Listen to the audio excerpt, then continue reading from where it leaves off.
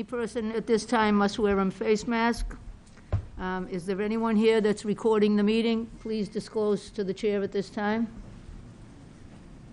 Channel 5, anybody else? Channel 8? Anyone else recording the meeting? Okay, thank you. Superintendent will call the roll. Yes. And, uh, Mrs. Aljamal? Present. Mrs. Coleman? Present. Ms. Donnelly? present, Mr. Frasica? Present. Mrs. Gately? Present. Mr. Tarallo? Present. Mayor McCarthy? present. All rise, please.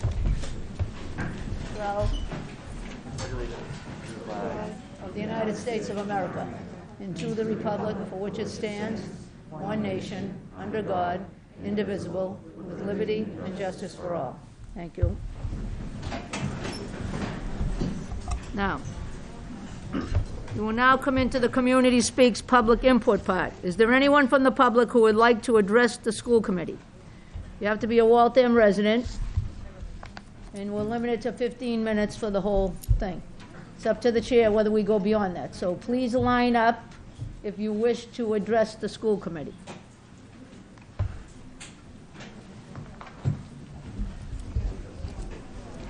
Okay, is there something up there? Marion, I mean, uh, Andrea? Okay, good. Okay, please state your name. Emery Eris. And I'm a mother of a Waltham um, high school student, and I am, I'm just like heartbroken that this is happening because just thinking about liberty and justice for all, and thinking about the fact that people are trying to attack our students, and um, and the fact that we even have to come here is just crazy to me. Like I just, I, I, I am firmly in support of keeping these books. I'm firmly in support of protecting our students and helping them grow into the people that they are going to be.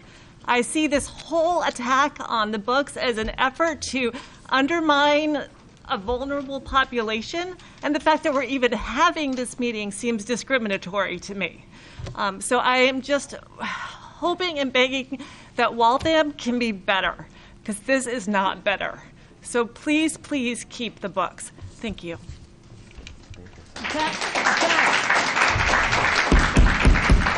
I'm very sorry. They have the right, once I acknowledge them, they have the right. But you're taking away from their time, so please refrain from clapping. Thank you. Deanna Veneria, I'm 55 Ivy Lane. Good evening, members of the school committee, and thank you for allowing me to speak. I am one of many parents that are here tonight to express how absolutely furious we are to learn about a book that has been made available to Waltham students. The name of the book is Genderqueer. Before I talk about this book, let me make myself loud and crystal clear. I support the LGBT community. I am not a bigot. Please. Please, please. I need, everybody will have a chance. I need to have, once I give up the opportunity to speak, we have to be respectful. Thank you. And I am not here tonight to spread hatred. I'm here to talk about a book that does not belong on the shelves of the Waltham High School. Genderqueer is a story about one's journey of self identity. It offers erotic pictures in a comic book setting. These pictures display two individuals which appear to be boys, performing both oral and penetrative sex. This book contains child pornography. Not even a warning label on the book itself is acceptable. Mass General Law, Section 29 Whoever distributes any matter which is obscene, knowing it to be obscene, or whoever has in his possession any matter which is obscene, knowing it to be obscene, with the intent to distribute the same, shall be punished by imprisonment in the state prison for not more than five years, or in a jailhouse or correction for not more than two and a half years, or by a fine not less than 1,000 nor more than 10,000 for the offense. Federal law prohibits the distribution of obscene matter to minors, any transfer or attempt to transfer to a minor is punishable to a minor. The law clearly states these pictures are not acceptable to be viewed by any teenager. Therefore, it does not belong in our schools. We demand to know all parties who approved this book to enter the library. Anyone part of that approval process should resign from their position. Any parties, such as librarians, that have the book hidden away so students can still see them, should resign. The principal, who we trust and should make the right decisions for our child's best interest, has failed. Education is about a child's identity. In relation to gender is not part of school's curriculum. Stop trying to sexualize our children. The human brain does not completely mature until 25. These kids have enough to worry about than having to question their identity. No child should have to worry about that. There are, many, there are many other subjects that I would like to discuss but are not on the agenda for tonight's meeting. Next meeting, I would like to request that the following subjects be heard. Why are students being divided by race instead as a whole? How many sexual altercations have happened at the high school and are not reported to parents? Why do our teachers feel like they have no voice? If they speak, they fear to lose their job. I am at this microphone tonight in support of over 25 teachers that have no voice and rely on people like myself to speak. Why does the principal allow students to use foul language and disrespect teachers? When you're, princi- when you're a principal, that is your school, not the students. They are in your house, not theirs. They are there to learn values, not strip them from others. If you can't handle the position of being a leader and start running a tight ship, then this is not the job for you. Our taxes do not pay for you to run a social club. Our children are there to learn, just like we did. As I conclude, I would also like to know why Mr. Tarallo continuously objected to let Renee Arena speak last week. When on the committee, when the committee scuffled to try to find a way to allow her to speak, you did not let her. You did not find a way. Why? I also want to make one more comment that is not on this. I do notice tonight that our principal in this school is wearing a rainbow mask. That's great. Which I, which I fully support. But as a principal, she should not have that mask on. She should be neutral. She should be here for our kids as well. All kids. All kids. Okay, And we can see the maturity here, so I'm going to end it at that. Come on, No, come on. it's very immature. Uh, There's no engaging with each other. Respectfully, the Community Speaks is a novel thing that came in in the 1980s. Please respect it. It's important that we hear from all, all sides. I'm going to go beyond the 15 minutes to make sure everybody that wants to be heard will be. Name, please. Renee Arena, 20 Browns Avenue. Thank you, and I appreciate the library committee taking the time to look at genderqueer and this book is gay, even though I do not agree with, agree with their decision. Because even if the books aren't available at the school, they are freely available at the public library and at bookstores. And if you're going to allow these books, I just wonder why you aren't allowing other things like, I don't know, Playboy. Um, I hear their articles good. Just put a sticker on it. Um, Playboy, Hustler, Pornhub. I've recently been accused of anti intellectualism by some people who work at the Waltham Public Schools. And these books are a quick read, very fast, really below grade level for uh, uh, high school grade level. In the back of the, this book is gay, is only a short list of the gay icons. People people who only get a line or two of acknowledgement, some people of great achievement, some people like Alan Turing. He only got two lines in here. There's only a very, very short list. But when it comes to other stuff, when it comes to the graphic, when it comes to graphic depictions or um, graphic depictions or or or descriptions of sex, that gets a lot more. But Alan Turing is a hero for his for his work in computer science and in code breaking at Bletchley Park. But the book devotes, devotes pages and pages, as I said, to graphic sexual descriptions, but only two lines to people like him. So if you want intellectualism, then how about, putting, how about having a book on Alan Turing in the library instead of having books like this? This is not about hate. This is not about hate. These are books that, that, should, not be, that should not be in a place that specifically caters to people under 18. The school needs to go back to be about the three R's and leave the rest of us to the leave the rest of it to the parents. We are the experts on our kids, not the teachers, not the schools, not DESE. It's us.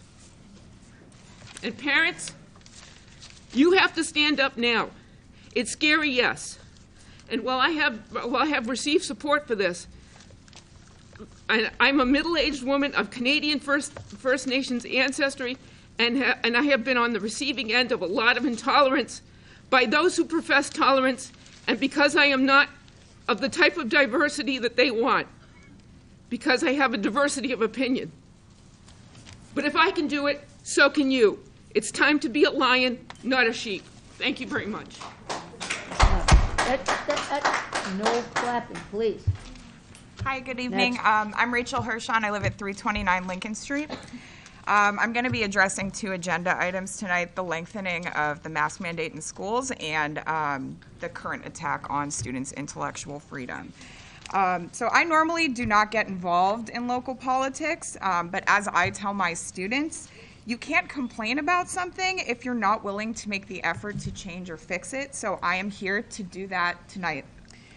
I recognize that many parents argue that mask wearing negatively impacts our students. However, I would like to argue that the mask wearing itself is not the issue, but the fact that students were closed off in their homes for about a year and a half. This should be obvious. It is undeniable that the lack of socialization would cause the behavioral and mental health concerns we are seeing now, not masks. A piece of fabric or paper to cover someone's mouth and nose cannot possibly contribute to issues surrounding emotional health. The argument just does not make sense. If anything, through this pandemic, mask wearing has probably been the easiest thing to do. It requires minimal effort and it keeps others safe. Think about the amount of students who live with grandparents or siblings under five years of age. How do you think it would impact their mental health to lose a family member because they brought COVID home? Easily preventable with lengthening the mask mandate. Our population of students and their families have an incredibly low vaccination rate 56% at my school, McDevitt, to be exact. What has made the limit of school wide spread so effective is our current mask mandate.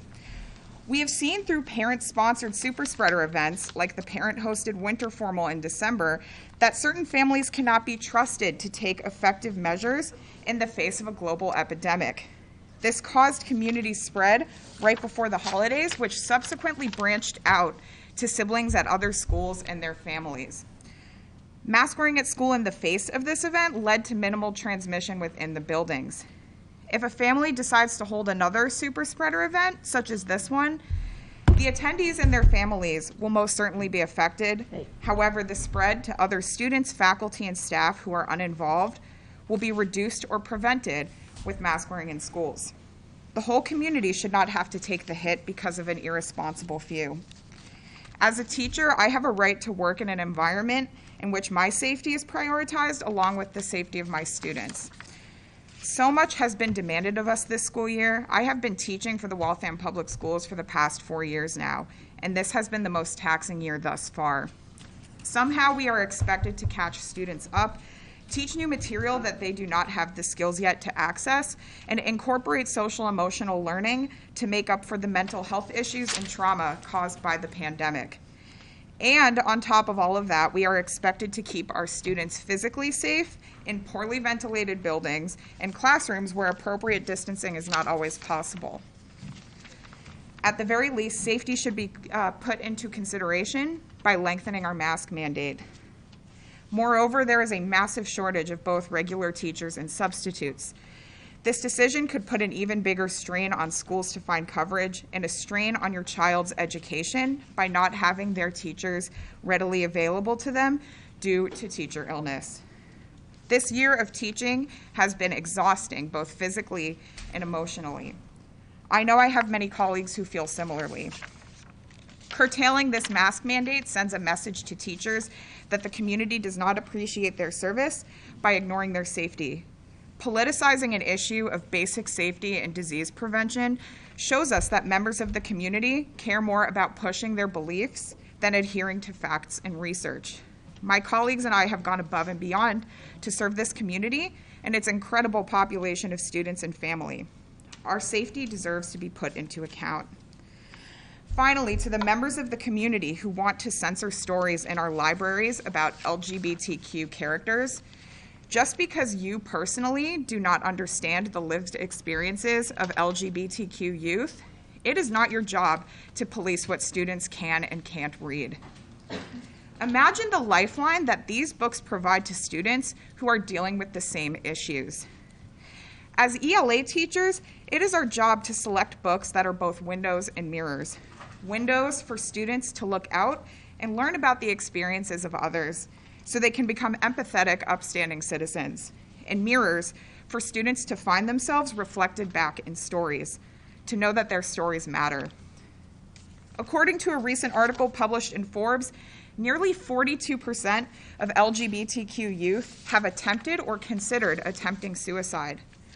Representation matters, and to have uplifting stories that reflect students' experiences matter. Just because many of you haven't personally experienced this does not mean that it doesn't happen here. As a public school, it is our job to educate students about multiple worldviews and experiences, not just the ones that you personally find acceptable or palatable. We are not a community that believes in exclusion and intolerance. You, the Waltham Schools Committee, must take a vocal stand against censorship and bigotry. Censoring certain authors or topics sets a dangerous precedent.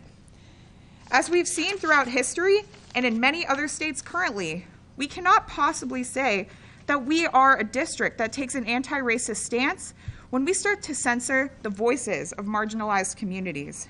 Trust the expertise of your teachers. We work tirelessly to create school environments founded on inclusivity. We want the best for our students, and that means providing texts that can help them navigate the challenges that may, they may be faced with or the challenges of other members of the community. Thank you. Okay, next, please. Please, please. Hi, Christy Hanley, 62 Candlewood Drive. I'm a mother of two Waltham High School students. I'm also a library teacher in Waltham. And I can tell you this issue of banning or challenging books is not just happening here, it's happening across the country. And according to the American Library Association, school and public libraries are reporting an unprecedented increase in the number of book challenges all across the country. The most challenges, most challenged books include themes of racial justice, stories centered around BIPOC and LGBTQ plus content. Pulling titles that deal with these difficult subjects can make it harder for students, teachers, and parents to discuss these issues. By pulling these titles, we are destroying the possibility to have these tough conversations. Removing books featuring LGBTQ plus characters and books dealing with racism is harmful to students who may already feel that they are in the minority. It's a sad fact that their experiences are extremely underrepresented in literature. In addition to students needing to see themselves represented in literature, they also need books that are windows into others' lives. Here in Waltham, we're fortunate to have many certified professional librarians in our schools. I think our team is exceptional. We carefully and purposefully choose which books make it into the library. We carefully and purposefully choose our curriculum. It is worth noting that librarians, whether school or public, do not make these decisions alone. There are numerous professional associations that have official policies regarding a number of issues, including the freedom to read. They have several propositions in the freedom to read. I'd like to highlight one that is currently affirmed by the American Library Association. It's the responsibility of publishers and librarians as guardians of the people's freedom to read to contest encroachments upon that freedom by individuals or groups seeking to impose their own standards or tastes upon the community at large. To parents who are asking for books to be pulled from our libraries, I'd first say that I think it's excellent that you are taking an interest in what your children are reading and what your child is learning. But before you ask for a book to be banned, please read it first. Your opinion may very well change after viewing that work as a whole. I'd also say to parents, you can absolutely tell your own child that they are not allowed to read a particular book. But nobody has the right to keep anyone else's child from accessing literature that they want or need to read.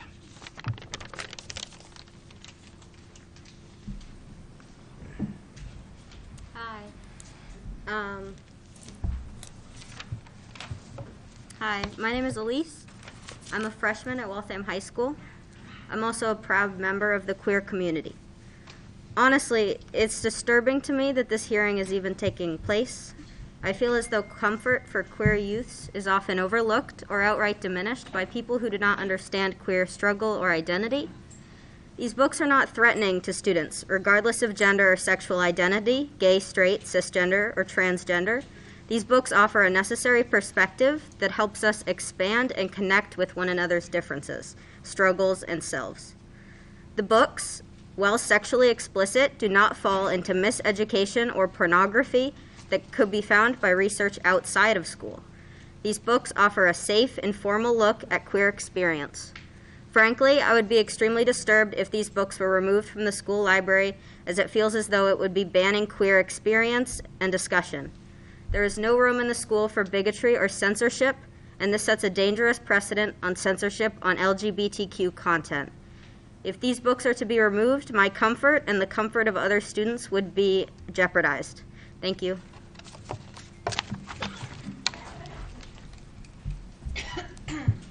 Hi, Ariel Traeger, 205 Lowell Street. Um, I speak tonight as a Waltham resident. I'm also an English teacher at Waltham High School, and I speak to beliefs that are shared by my colleagues in the English department. Uh, regardless of the supposed reasons for challenging these books, if these particular books were to be removed from the library, it would send a message to our LGBTQ students that it's not okay to be who they are. Schools are held as safe spaces for students to explore ideas as they forge their identities both as individuals and members of a community. Libraries and the books in them are an integral part of the process and must remain an open resource that accurately reflects the diversity of the world the students exist in. LGBTQ students deserve educational materials, and they deserve books that depict happy and healthy LGBTQ characters who have navigated the same struggles as them. Removing resources from our library would send a message to all students that it is not a safe and productive space for their inquiries and could possibly send them to other less safe spaces to explore their questions. Furthermore, libraries operate on the freedom of choice. That materials are made available does not mean that students are mandated, obligated, or in any other way influenced to select them. As stated in the American Library Association's interpretation of the Library Bill of Rights, quote, libraries should not limit the selection and development of library resources simply because minors will have access to them. A library's failure to, to acquire materials on the grounds that minors may be able to access those materials diminishes the credibility of the library in the community and restricts access for all library users. Children and young adults unquestionably po- possess First Amendment rights, including the right to receive information through the library in print, sound, images, data, social media, online applications, games, technologies, programming, and other formats. Constitutionally protected speech cannot be suppressed solely to protect children or young adults from ideas or images a legislative body believes to be unsuitable for them. End quote. Finally, removing texts which, which target the LGBTQIA plus community may open the door to other identity sorry, may open the door for other identity groups who have been marginalized in our community to have their voices silenced and their identities essentially banned as well. Do not approve this ban, ban and set precedent for the future marginalization of our students. The city of Waltham does not want to be in the national news tomorrow for banning books. It is the school committee's job to support and promote the education of all students. Do not choose to limit the education of our students. Hi, my name is Janice Alpert. I live at 99 Warwick Avenue. Um, I'm glad Miss Pena is wearing a rainbow mask. I don't know where she is, but when I saw that, that made me very happy, and she's a wonderful principal. Um, I have a freshman at Waltham High, and I have a seventh grader at Kennedy. I'm a library media specialist in another district. Um, I strongly oppose the removal of these titles and any other materials which have been carefully selected for the school libraries. I want books in my children's school libraries to serve as mirrors to reflect their own lives as well as windows into other people's experiences. Recent research conducted by the Trevor Project, an LGBTQ youth suicide prevention and crisis intervention organization, has shown that increased acceptance and affirmation can significantly reduce risk to stu- can excuse me, significantly reduce risk. The LGBTQ students need to have these books. Books like these could quite literally save their lives. I want my children to have access to voices from all communities. Now, pulling out a few images or passages from a book does not explain the context in which the words were written or the images were intended. I saw the initial images that were sent, and then I read the whole book and saw the, saw the context. Um, I wonder if the person or group even read the books in full. And I also wonder why anybody should get to dictate what my children have access to in their school library. I trust the Waltham School Library staff to use their selection policies and knowledge of literature and young adults to purchase materials for their schools. Book challenging and banning is a slippery and very dangerous slope. It violates the First Amendment and the Library Bill of Rights. My seventh grader just finished reading The Giver in English class, and in the words of Lois Lowry, submitting to censorship is to enter the seductive world of the giver, the world where there are no bad words and no bad deeds. But it is also the world where choice has been taken away and reality distorted, and that is the most dangerous world of all. Thank you.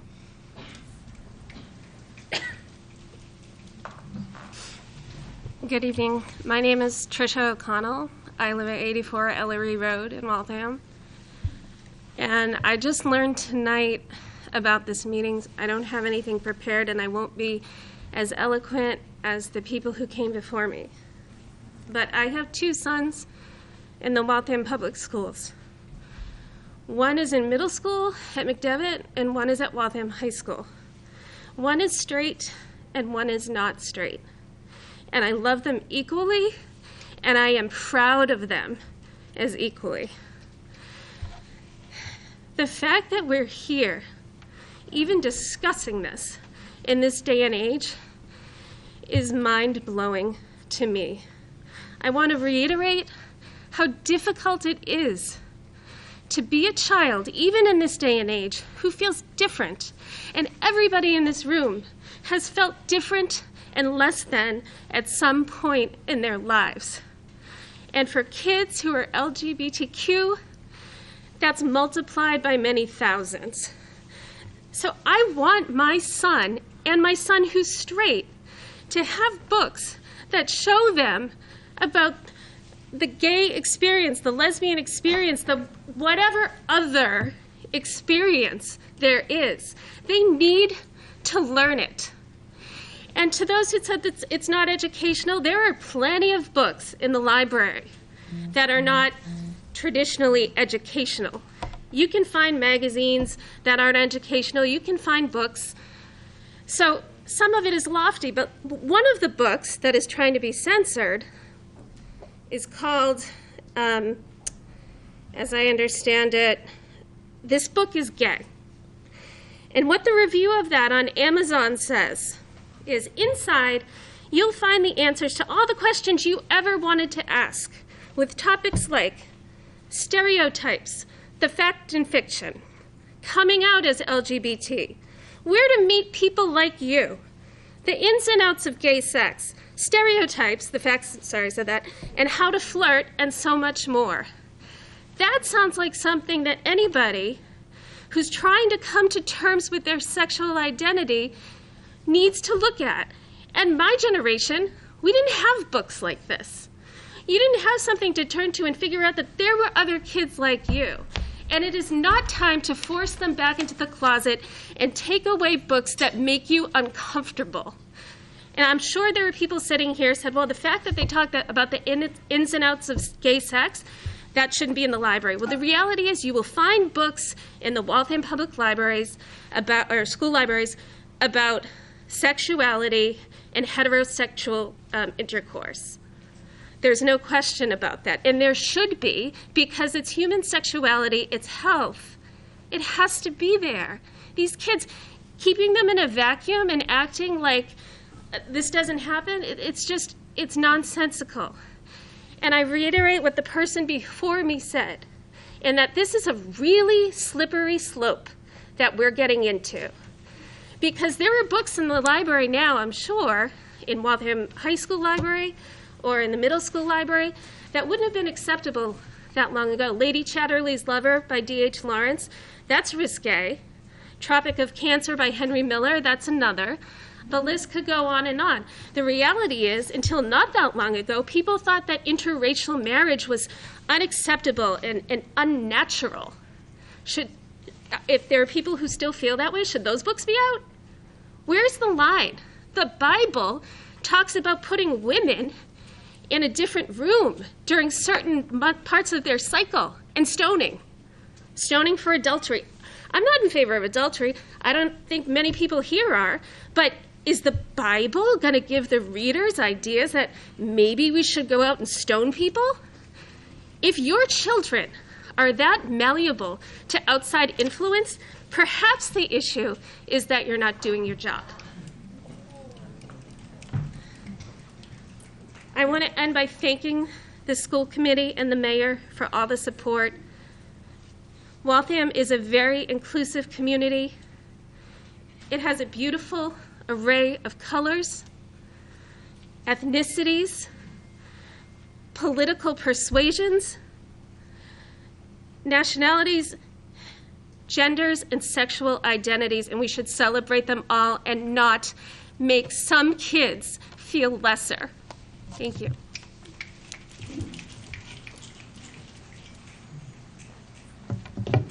Um, hi, I'm Sonia Patel, and I'm a sophomore of Waltham High. I am a queer teen of color, and it is nearly impossible to find any representation at all in media and society around me. Most importantly, this representation lies in sex ed. We were taught sex ed in middle school, most importantly, intercourse, and how to stay safe during it. But this never touched on any gay sex male gay sex, lesbian sex, any of it. It's so important that teens stay safe during when having sex because newsflash, teens have sex in high school. It's happen, it's going to happen, it's inevitable, and the more we ignore it, the more dangerous it could become. There was once a book at the Scholastic Book Fair with a woman with breast out as she a woman with breasts out as she was blow drying her hair. This book was clearly to teach on the health of how girls get ready, clean themselves, etc. And now no one ever complained about it because it was obviously about to teach the health on how to take care of yourself. So why is sex any different? Why there's a reason that people did not have an outrage over this book. And it was because that the context obviously meant that hey, this book is about health. It's about how to take care of yourself. And sex is no different. Sex has literally no difference. It is health it is a way to stay safe during it.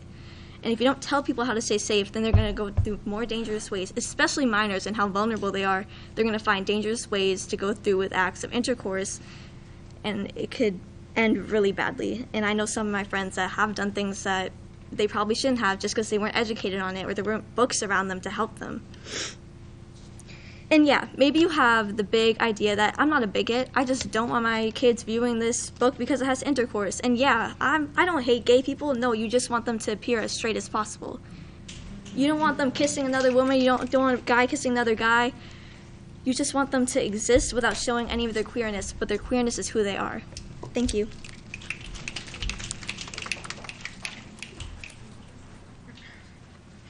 Hello. I am Mina Al Kafaji. I am a junior at Waltham High School. Today I came to talk about the mask mandate, but I do want to touch a little bit about the books. A lot of people use Christianity as an excuse for being for being against the LGBTQ community. So, I'm a Muslim, let's play the Bible game, okay? In Islam, it is a sin to be a part of the LGBT community. Yes, it is. But it is a bigger sin to judge and to treat those people less than what I am. And if you want to talk about sins in Christianity, why do you drink? Why do you do this? Why do you do that? If you want to follow every rule, let's follow every rule. Okay? Now I'm going to get to what I actually came here for. so sorry. The mask mandate. It's really funny because before coming here, I was warned. Um, I was warned from the many adults that actually believe they're being oppressed just because of a cloth on their face.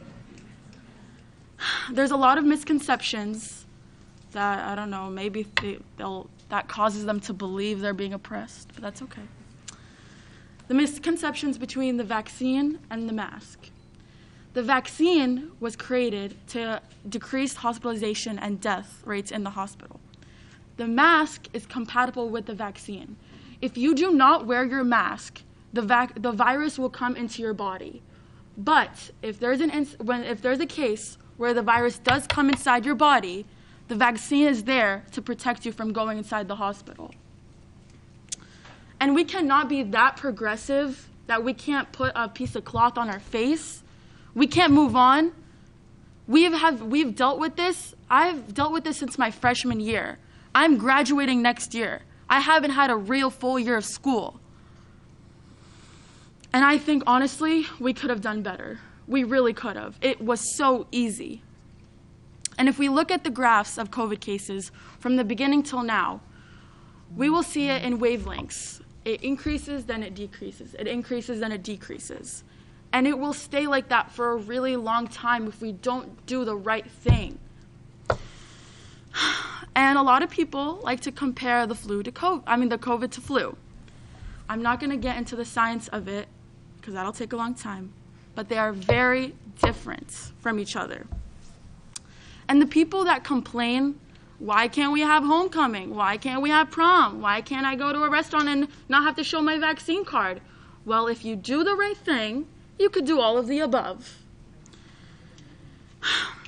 And we already have a lot of problems inside the school because, oh, this person's not wearing their mask right. I'm going to judge this person because they're wearing the mask right, or why do you think like this? uh, shortening the mask mandate will increase that tension even more between the students and the teachers. It will create an awkward tension. And me, even now, I honestly despise walking into that school sometimes. I don't feel safe in a lot of classrooms. There are many times where I had to personally walk up to the teacher and explain to them, I do not feel comfortable inside your classroom because you are not enforcing this rule.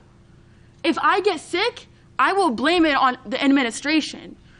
They have claimed that they will put consequences on kids that don't follow the rules, but nothing, no action has been taken. And I understand everybody has their rights. Everybody does have their right, and you can do whatever you want with your body, yes. But if your actions affect my life, I have to deal with the consequences even though I'm following the rules. That is why I'm passionate. A lot of people say, Why do you care? If you're wearing a mask and I'm not wearing a mask, you're not going to get COVID because you're protecting yourself. Well, if you don't wear a mask and you don't wear a mask and you don't wear a mask, COVID cases will increase, and then I will have to go back online and my life will be destroyed again. So, thank you.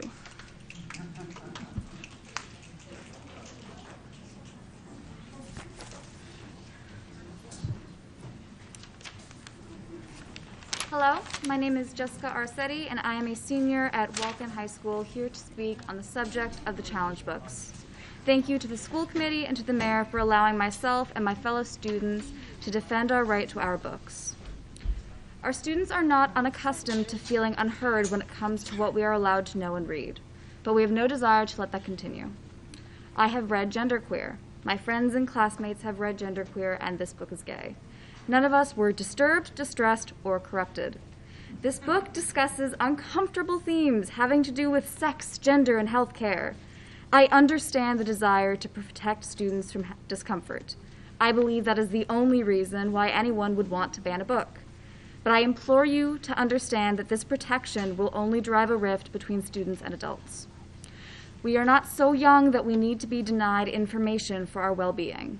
The best way you can help us is by giving us the resources we need to learn about ourselves. Our bodies are not inappropriate. Neither are the bodies of our transgender and non binary classmates. We all deserve to see ourselves in literature so that we know you care about us. We cannot be cared for if we're put away like dirty secrets. I implore you to think about what students want. I know you're adults and you have experienced things you want to protect us from, but we will encounter them one way or another if we want to or not. Ignorance has never been the solution to curiosity. Please show you support us and you will be kind to us if we have deviant or taboo questions. I want to feel safe here. I want to leave this school trusting that my siblings, my classmates, and potentially my children will be protected. Thank you for your compassion and your attention.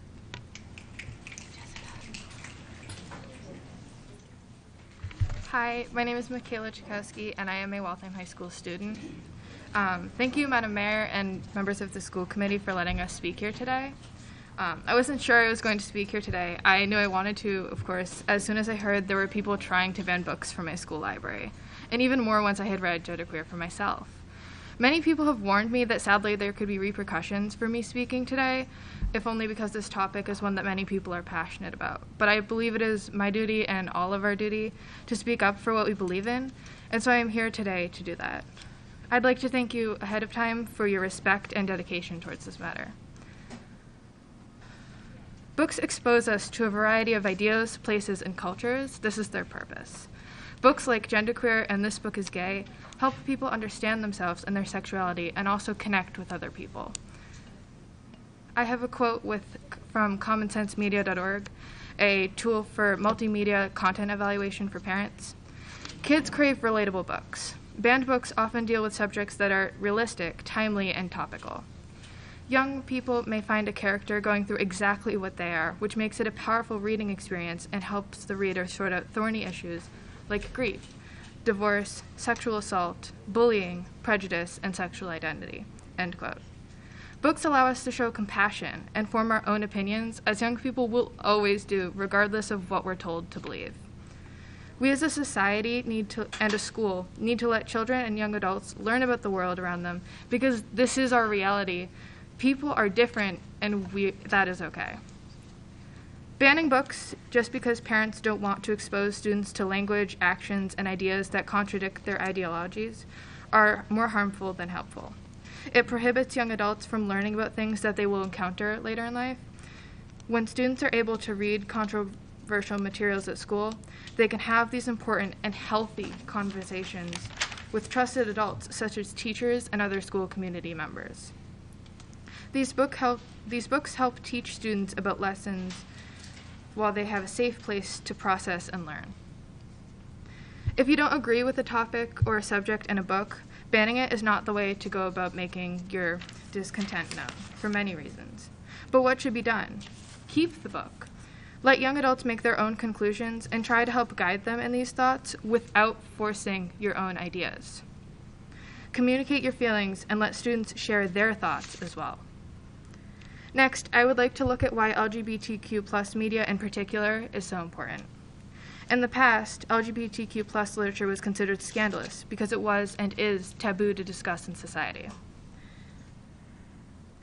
Um, today, over 11% of the population are out as LGBTQ plus and are not equally represented in any form of media, least of all YA and children's media. People in the LGBTQ plus community, like other marginalized communities, don't see themselves represented and thus feel ignored and invalidated. The stance on banning specifically LGBTQ plus media is harmful and reinforces the idea that some thoughts and ideas are more valuable than others. Finally, I would like to look at the criteria for banning a book. Court precedent says that a book has to be considered obscene by contemporary community standards or nationally to be banned. Neither genderqueer nor this book is gay fit these criteria. However, both fit the criteria to be saved, i.e., a redeeming social and psychological value. In the end, everyone has the right to read about socially contested issues and to feel represented in the school community, our home, our house. Thank you.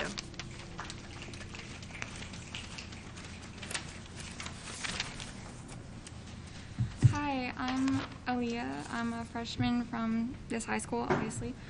Um, I don't have much to say because many of the people I know here and who are speaking their piece have already said many things that I agree with. Um, but I think that these books are meant to educate and include students of all identities. There is very little education and importance available to students based around safe sex and the body.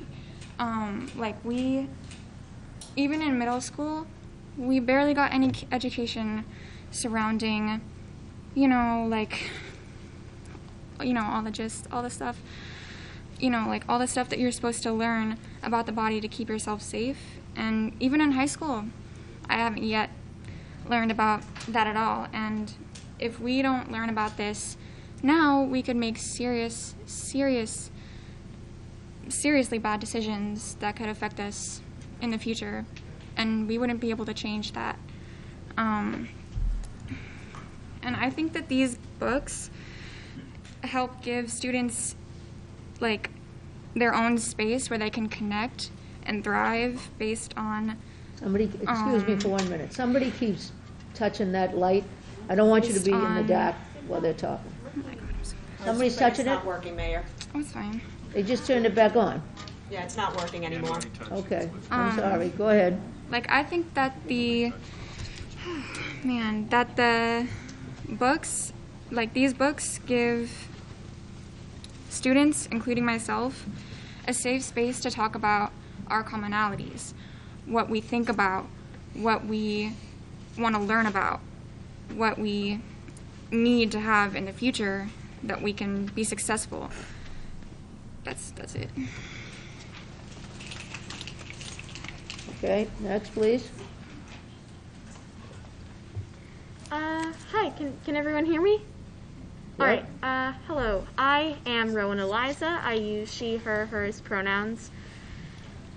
Um, so I heard about this. My mom told me, and I heard a couple of other rumors around the school, that some, a couple of people were trying to repeal several books that spoke around topics of LGBTQI um, problems and issues and information in general and repeal those from the library.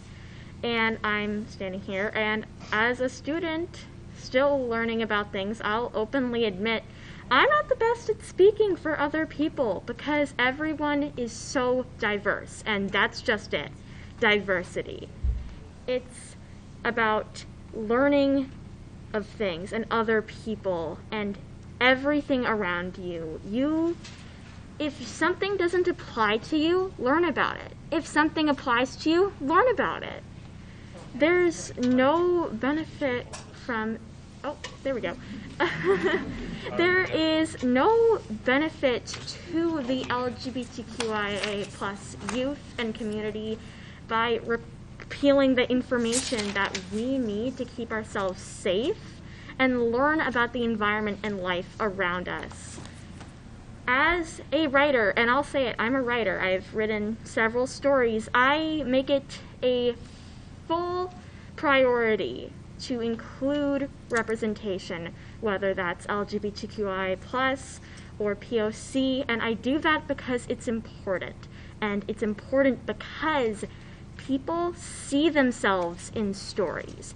If you draw a smiley face, you'll make a story about it. If you draw a car, there's a story. Maybe they're driving to work. And if you look at a character written down on a page, and you can either see another person who's going through something you know about, see someone who's going about something you might not know about, and most importantly, to a lot of youth, which something that has been taken away or not shown at all is seeing yourself in those characters. And that is why it's important to allow students to see that representation in books. Either to see themselves in the books and see their own stories or things they can relate to and things they can do and hey, I matter. And yeah.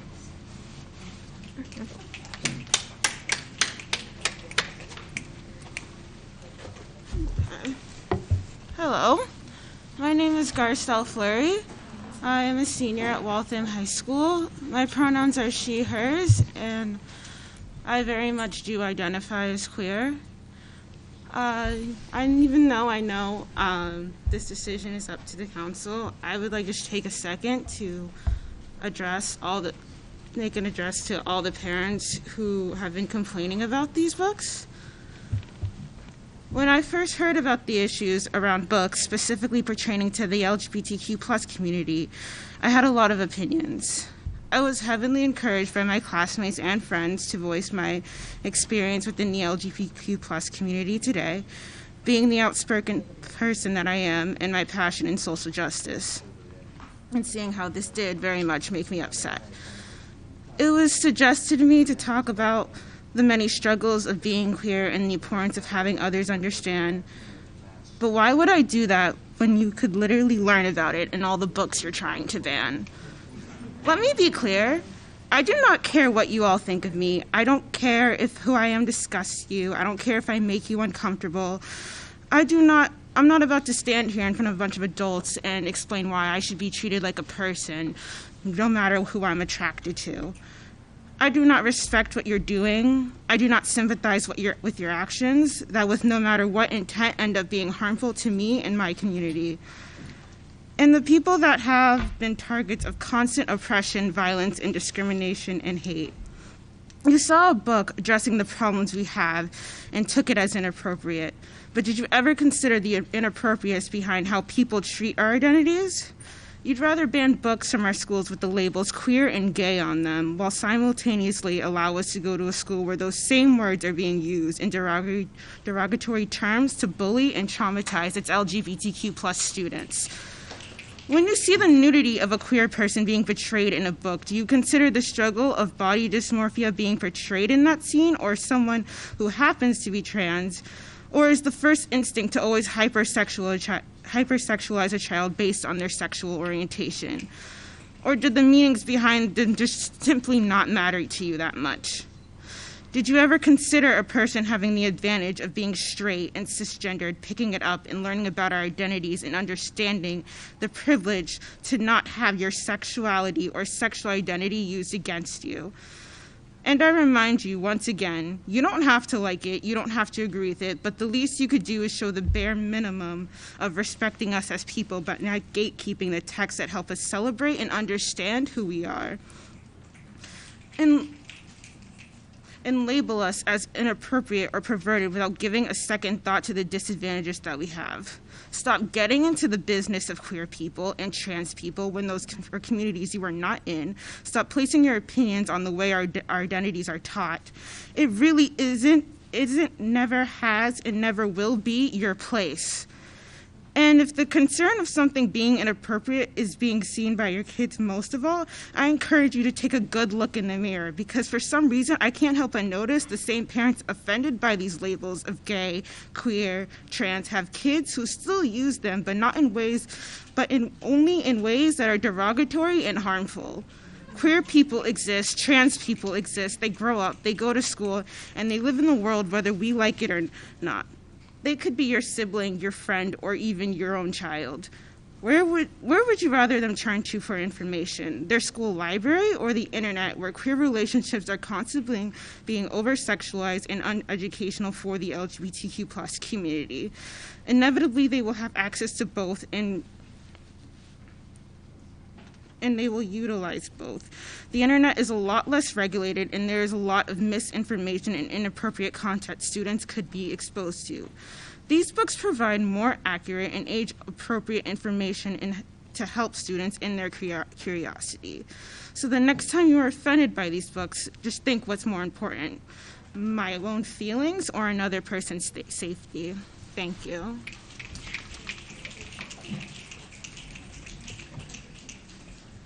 Hello, residents of Waltham and members of the council. My name is Tegan Swan, and I'm currently a junior here at Waltham High School. I identify not only as a member of the LGBTQ community, but as a non binary using the singular they them pronouns. I'm here today not only to speak about the challenging of the books, This Book is Gay, and Genderqueer, but to also speak about my experience with the mask mandate. I, as a member of this community, feel as though our voices should, should be heeded and not only taken into consideration, but also respected, as this impacts us most.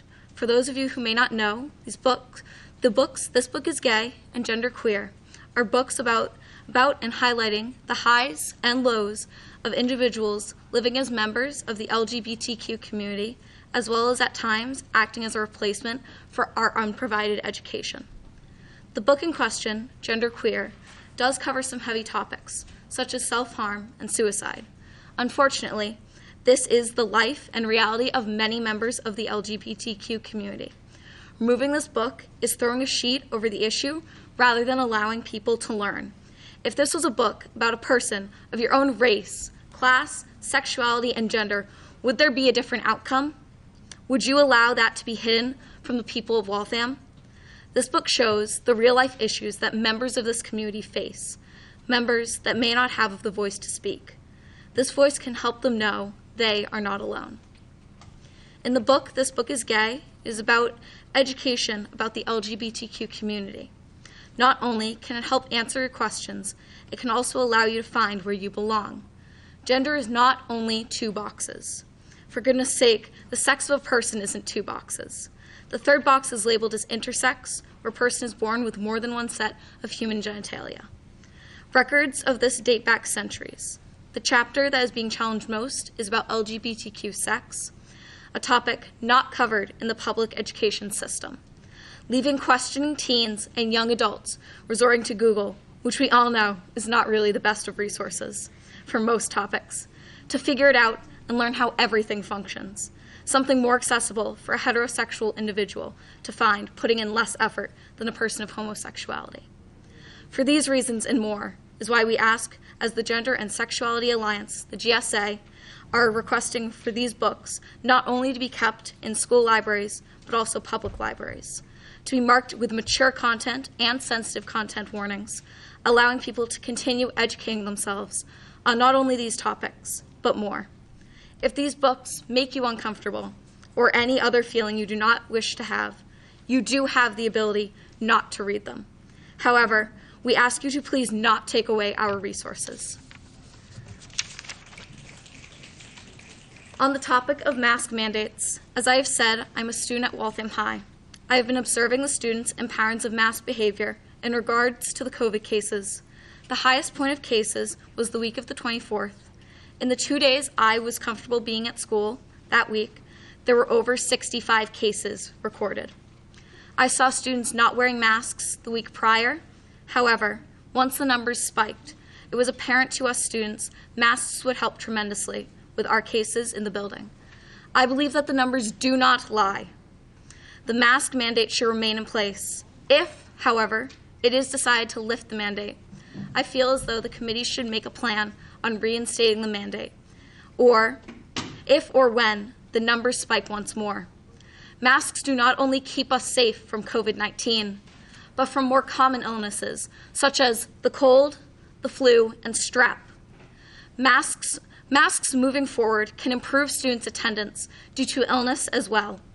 There should also be a plan in place to protect the students who do choose to continue to wear a mask until further notice.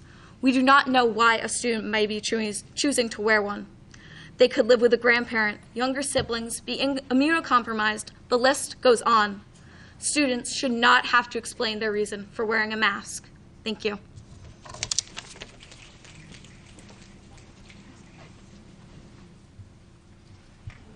Hello, my name is Katie Cohen, and I live on 1054 Trapelo Road.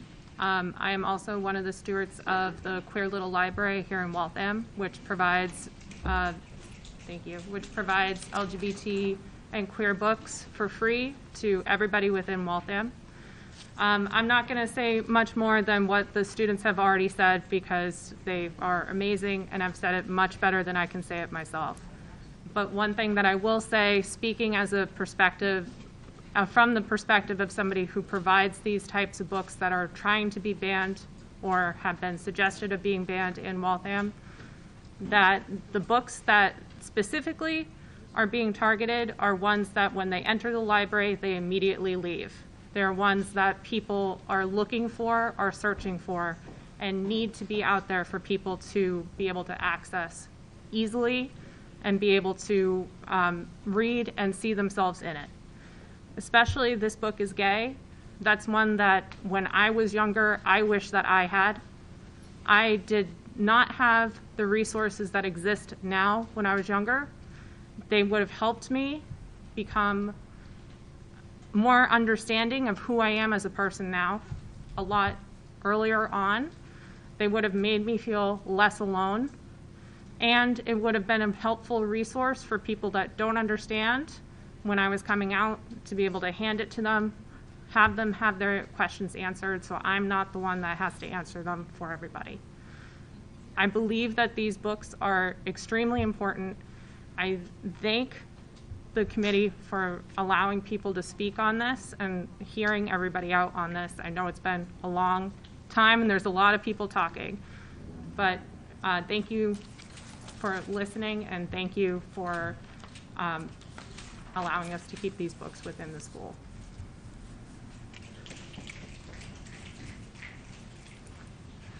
Hi, my name is Josh Kausdorf. I live at 33 Everett Street. Thank you to the committee for letting everybody speak. I appreciate that. I'm here to speak on behalf of the group of people who organized last summer the first ever, as far as we know, uh, Waltham Pride event. And all of us are here today. Um, and we just started planning a Pride for this year, so we hope a lot of you can join us. The organizers of Waltham Pride support the recommendation of the review committee to keep the books Genderqueer by Maya Kobabe and This Book is Gay by Juno Dawson in the school library. According to the Trevor Project, as I think other speakers have mentioned, every 45 seconds in the U.S., an LGBT person between the ages of 13 and 24 attempts suicide. Being a teenager is not easy for anyone, but realizing that the changes you're experiencing are different than the changes your friends are experiencing can lead to the terrifying feeling that you are alone in the world and that you may never be able to live the kind of life you dreamed of when you were a kid. Many of us who survived to become openly queer adults remember finding the first clues that we were not alone in the world in the pages of a book. Young people today have access to a fire hose of information and attitudes about sexuality and gender on the internet, much of it misleading and potentially harmful. Students who go to the library to look for information on these topics are demonstrating a level of maturity and wisdom that should be rewarded with honest and helpful information. And I think we've seen some of the maturity and wisdom in the students who've spoken tonight. Thank you. Librarians who recognize that need and make the effort to provide appropriate books despite the risk of criticism from some in the community are heroes and may be quite literally saving lives. We are here tonight in part to thank them, as well as all of the students, parents, teachers, school employees, and members of this committee who have supported them or who have made efforts to keep our schools safe and welcoming for LGBT plus youth. In the past year, as I think other speakers have mentioned, the American Library Association has reported an unprecedented spike in attempts to ban books in America. NBC News called Genderqueer one of the most banned books in this country. Thousands of complaints have been made against books in school libraries, almost entirely books by LGBT authors or authors of color, inspired by a national political trend of claiming these books are obscene or pornographic, often based on drawings taken out of context. Pornography is fairly well defined in our society, and most of these claims are absurd on their face. In that context, we cannot accept that the people who made this complaint in Waltham were motivated by concern for the well-being of our youth. In order to jump on the bandwagon of a national political trend, they've taken actions that at best waste the time of this committee and at worst could do serious harm to queer or questioning youth who are not in a position to stand up for themselves. Some are. These are not the tactics of activists who want to make the world a better place. These are the tactics of bigots and bullies. And we are here today to make it clear that this is not acceptable in Waltham. When people express their values by attempting to ban books, they are showing us that they value ignorance, and that attitude has no place in decisions about education. As queer adults and allies, some of us have spent decades dealing with people who try to restrict our ability to be members of our own families and our own communities by claiming that knowledge of our existence is somehow harmful to children. We will not stand by and watch yet another generation suffer because of the kind of, this kind of prejudice. To all the youth in the Waltham school system who are queer or who are still figuring out who they are, we stand with you. It may seem hard to believe now, but you are not alone in the world and you are not alone in Waltham. There's a queer community here that will continue to organize to make sure Waltham is a safe and welcoming place for everyone, and we hope many of you can join us at this year's Pride. Thank you.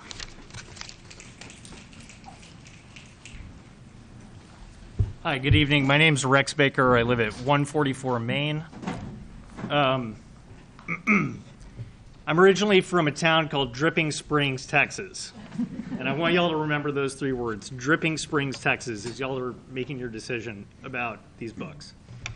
Um, I'm proud to be from Dripping Springs, Texas, because 22 years ago, when a group of concerned parents sent out mailers to the parents of the uh, seniors in the AP English class uh, with a bunch of out of context quotes from an award winning book, uh, including a bunch of, you know, what, sexually explicit imagery, right?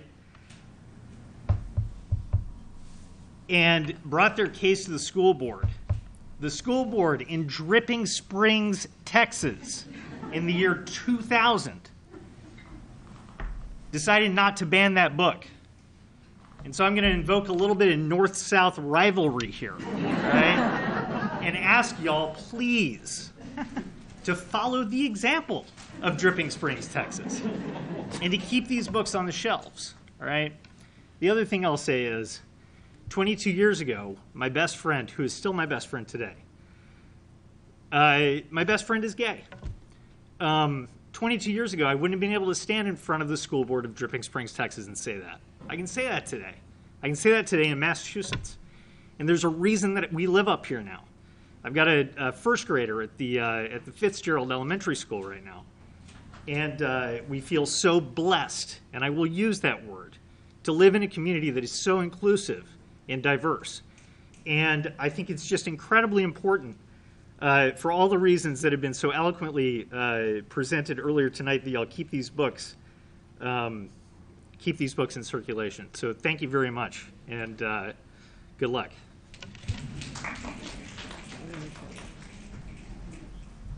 Good evening, Mayor, Superintendent, School Committee. Um, First, on the mask mandate, I understand where some people are coming from, but during this entire pandemic, we put the responsibility of keeping everyone safe on the backs of kids, and I don't think that's the right thing anymore. I think that some people might have other experiences. I have two teenagers who I've watched go through this, and you might not think that wearing masks is detrimental to them, but I watched and experienced it for almost two and a half years, every single day, of what it costs these kids. It's hard to be in a classroom with a teacher and not being able to see their face. And I talk to a lot of kids, and some kids feel differently, but a lot of kids are ready to make a decision to be able to take their masks off if they want to. So I support what the governor and the commissioner of education said was that at the 28th, that it would be optional and school districts would need to make their own decisions. And on the book, Genderqueer and You're So Gay, oh, this is so gay, um, I'm wearing this mask not just because I just support students who are gay, but because I support them too. And a lot of times they don't see people in this community that support them. I read the book and I thought it was moving and educational. And our library staff is incredible here. They work tirelessly to make sure that kids have a safe haven where they feel like they matter and are not marginalized. Kids in high school, a lot of kids feel marginalized. And they do an outstanding job of making sure that all kids feel safe there. My own kids spent, my son spent four years eating lunch there every single day, and my daughter spent every single day eating lunch in the library. They're outstanding. They care about all the kids in this community, and we are lucky to have them here as employees. I would also want to comment on how brave I think a kid has to be to walk up to the front of that library and check out that book. Put yourself in their position for one second, what that must feel like. Not everyone has supportive parents that love them and care about them and will be understanding about their sexuality. That would be wonderful if that was the case, but that's not true. Some kids don't have parents. Some kids are in foster care. Some parents have people have parents who are deceased. But it takes bravery to be able to go up to that desk and be able to take that book out. Just like it was brave of them to stand up here in front of all these people here tonight, a lot of them who they think are judging them, to say proudly that they're queer. I applaud you for your bravery. And I remember when we used to have the readathon at Waltham Public Schools before the pandemic, and kids would spend all night reading in the library, paring down book after book, and coming with one book, which was our one book, one story. And a few years ago, the kids selected All American Boys, which is an outstanding novel, but it had a controversial topic. And when they asked the kids, is the community ready, the school community ready for this? They said, the kids are and the adults are not. And that is the problem. The kids here do not have a problem with that book. Nobody's scrounging through the book, look at the library, looking for that book or taking it out because they're just want to look at the pictures. They're taking out because they have real questions about their own sexuality. And I don't think, as a straight woman, I have a right to say that that book should not be there. I just don't. So that's all. Thank you. My name's Emily Ronald. I live at 1148 Main Street. I have two boys in Plimpton Elementary. Um, First, briefly regarding the mask mandate, if you do decide to lift it, I encourage you to consider under what circumstances, what positivity rate, what hospital overload, you would reinstate it. Um, Given the waves and the variants, I think it's something that needs to be considered. Um, That is, should you choose to lift it. Um, regarding the two books that are being discussed, I'm not only comfortable with my kids reading these books, I might end up buying my own copies and sharing them around. Um, I trust our school librarians and teachers to choose high quality, appropriate books about LGBTQ people. When I was in high school, gay and queer were primarily insults. Those of us in my classes who weren't straight, including myself, kept it as secret as possible, sharing information through rumors and whisper networks.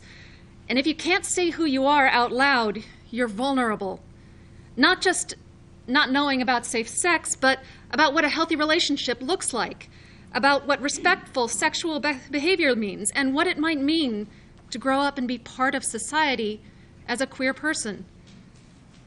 There's so many questions that are left unanswered. In that world, the normal view was that non heterosexuality was only about sex, unsafe sex, dangerous sex, not love or caring or identity. And that view flattened us.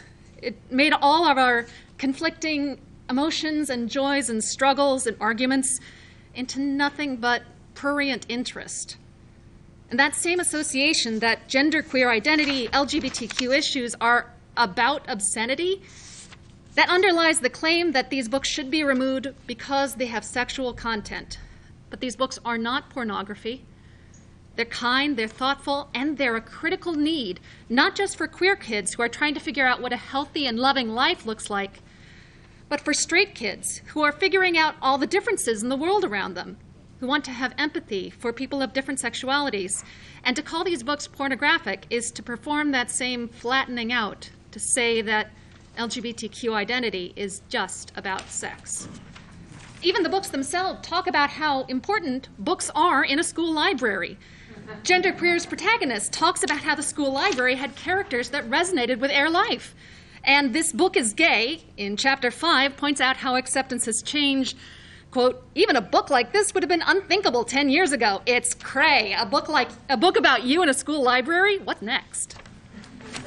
So I urge you to support the school librarian's choices to ensure that these books remain available to Waltham High Schoolers. Thank you for your service on this committee.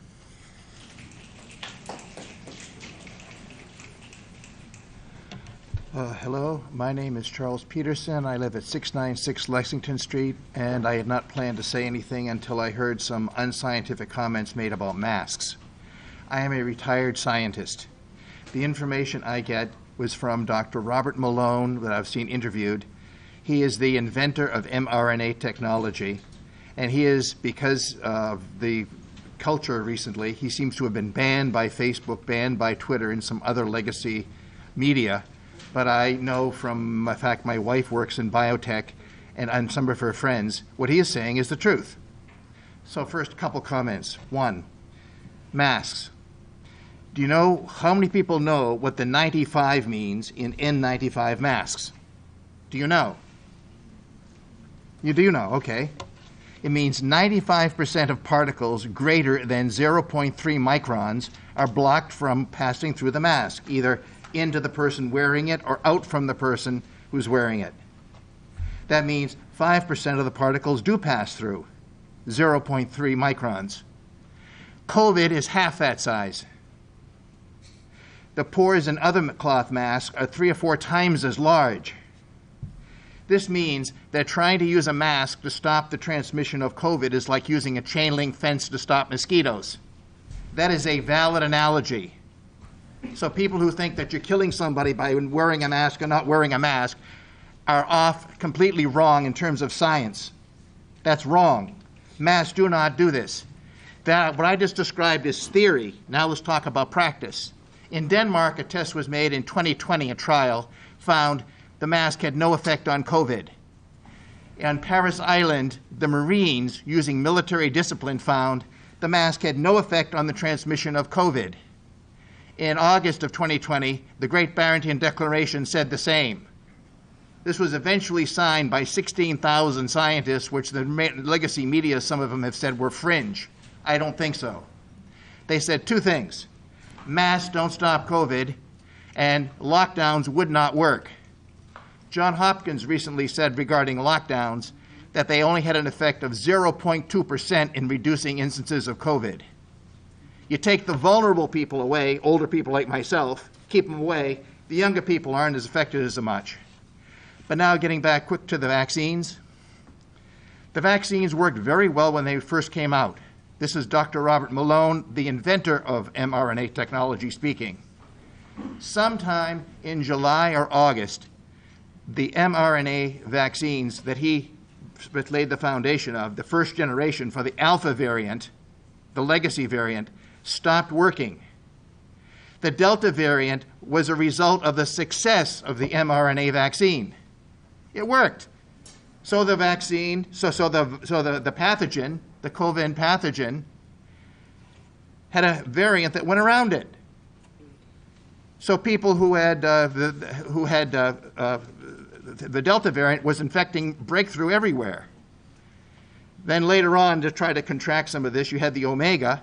By the way, one thing about the vaccine: people who got the Delta variant when they got sick were protected from going to the ICU by uh, by, by the vaccine. But one thing I should mention is, there's a principle here that's happened throughout this, going from alpha to delta to Omicron, is Muller's ratchet, which you can all look up. Muller's ratchet. There aren't many principles that work regarding uh, pandemics, but Muller's ratchet is one of them. As a pandemic progresses, the pathogen becomes more infectious and less deadly. That has happened. Now, in mid-December, Rob, uh, uh, Robert Malone made the following prediction regarding Omicron. He said, there would be a huge peak, unprecedentedly high peak, that would be uh, that would occur in mid, uh, and it would peak somewhere in, in mid-January. Then it would fall just as fast as it rose, and then it would change from a pandemic to endemic. This will happen no matter what any state does, issuing mask or vaccine mandates. The, va- the virus is going to do what it's going to do. No state action or intervention will stop that. By the way, fun fact this is, virus is not going away no matter what you do. 80% of white tailed deer have antibodies in their system for COVID. Fun fact. It's not going anywhere, it's in the environment, it's everywhere. There were some diseases that only affect humans.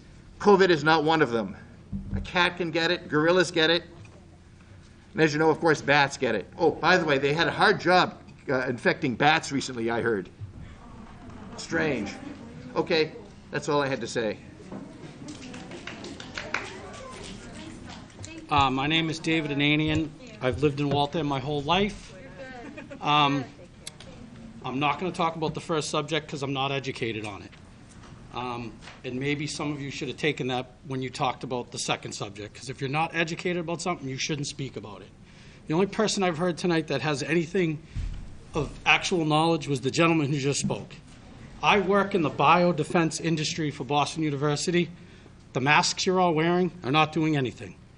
You could think they are, and maybe that helps you, and that's fine if you want to wear it. It doesn't help you, okay? The people that are wearing it 90% of you are not wearing it correctly. I'm walking around, everybody's touching it. Everybody's breathing it. It's a filter. You're, you're, touching a dirty filter. You're better off not having it.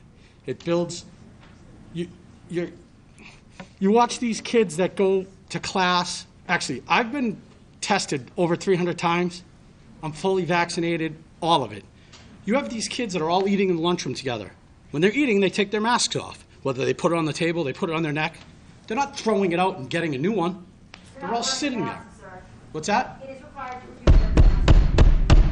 Please, So no debate. these kids are eating with their masks. When they get out of school, Oh, you can get up and, excuse me, sir. yeah, You can get up and speak if you wish to speak. You just can't interrupt the speaker. Thank you very much. Tho- Those are our rules. Those are oh, our oh, rules. Oh, sorry, sorry. I thought you. No, she's Those asking. are I got, our it. I rules. got you. I got you. Um, these kids are not wearing them correctly. A lot of the people aren't wearing them correctly. You're wearing a filter that you're touching all day long. You're taking it off. Most of you aren't storing it correctly. I know my kids. They get in my truck. They throw it on the seat. They throw it on their kitchen table. Correct? You're bringing a filter that's full of all these germs with you. It'd be one thing if you're wearing it correctly. It still doesn't help, but it would be better if you were doing it correctly. You're not. You're doing more damage than good. You're better off not wearing the mask. I am fully vaccinated, have been tested over 300 times, and I'm going to tell you right now, I don't wear it anywhere I go. Unless I absolutely have to, I don't wear it. And I have MS, I have diabetes. I'm in that category that should really be worrying, and I don't because I know the science. I work with these people every day. The masks are for you to feel better. They're not really doing what you think they're doing. And most of you aren't wearing N95s anyway, so they're really not doing anything. Those paper masks do zero. They protect nothing for, with this, this disease. And I've been looking around the room. I can't tell you how many people have touched your face with the mask on, including people on the board. There was a girl earlier. That's you're gonna you touch your face a thousand times. So when you get out of here and touch the mask, you're gonna touch your face. That's why this spread. And the gentleman is correct. This disease, the way it's running, is going to just stick around. It's not going to be as bad. It's going to end up being, I know it's not the same as the flu, but it's going to be acting like a flu. It's not going away, but it's not going to be as dangerous.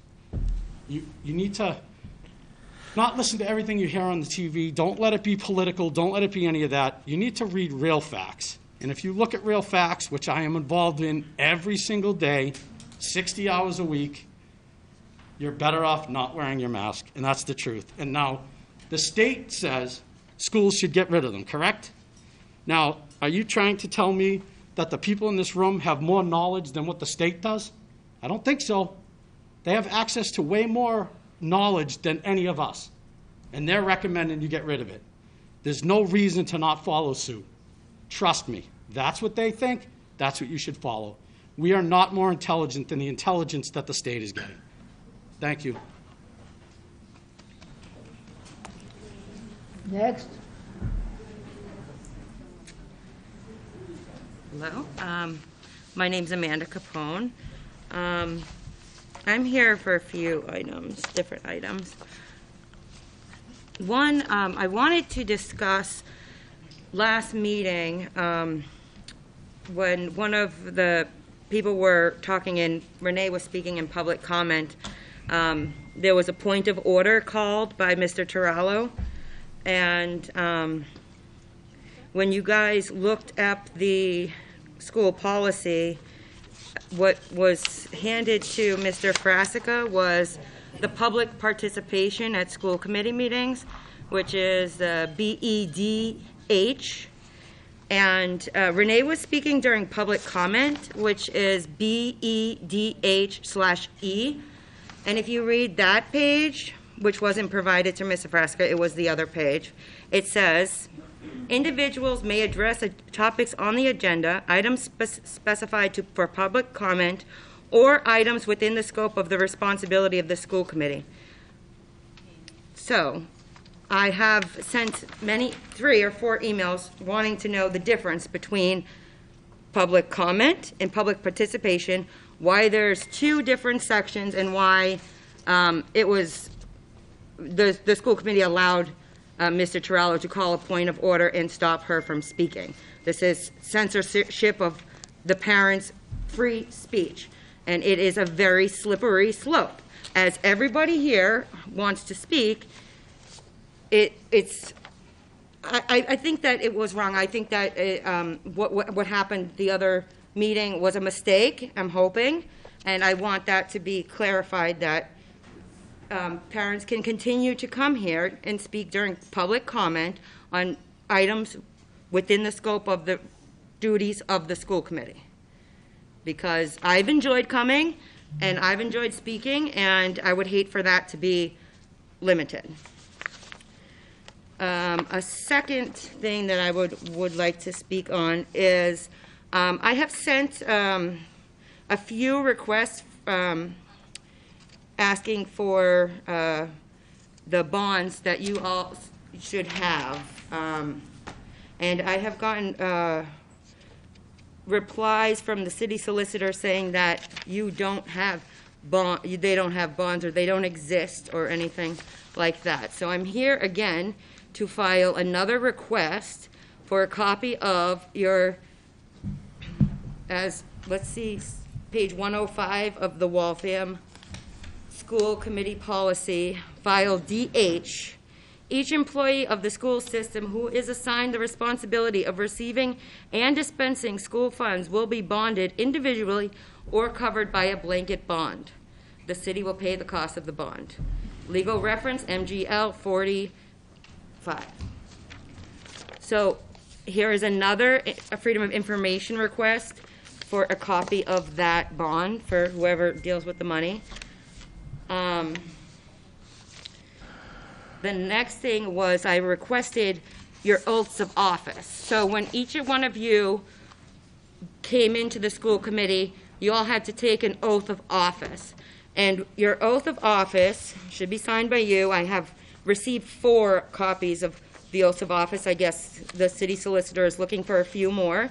Um, and all of you solemnly swore under oath that you would bear faith and allegiance to the Commonwealth of Massachusetts and will support the Constitution therefore thereof. So help me God. It goes on. You all took an oath to defend the Constitution of the United States of America.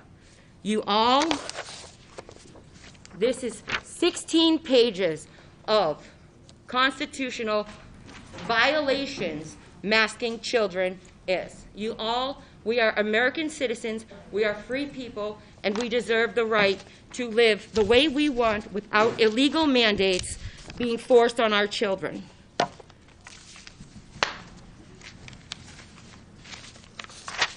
So here, if I could enter this into the.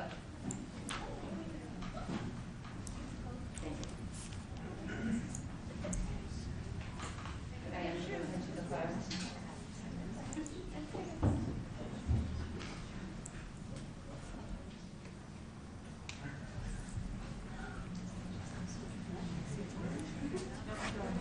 Next. Somebody next? Hello, I am Benjamin Herman. I live at 3 Grant Place. I am a English teacher, an English teacher at Millis Middle School. And before I even became aware that Waltham was dealing with an issue regarding books and the banning thereof, I was teaching about communication and teaching about a very similar issue that happened down in the South, which I'm sure many people here are aware of. Now, I also do have a wealth of knowledge when it comes to GLBTQ issues, um, generally because I have a lot of friends who are, and I am surrounded by other people who are aware of the knowledge, and we are all able to share it. And we gained that knowledge not through word of mouth, but through looking it up, research. These are the types of things that we teach at school in English class, in history class.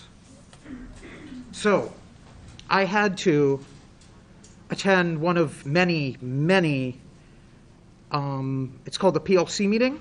What that means, it's just the English department. It's me and four other English teachers. We eat chips and have chocolate and discuss which students are not doing well and how we can improve the curriculums. Uh, one way we are working to make the year a better year for all students, specifically for the English department, is we want to make reading a number one priority. We want to make reading better for everyone in the school. And so we as teachers read as much as we can.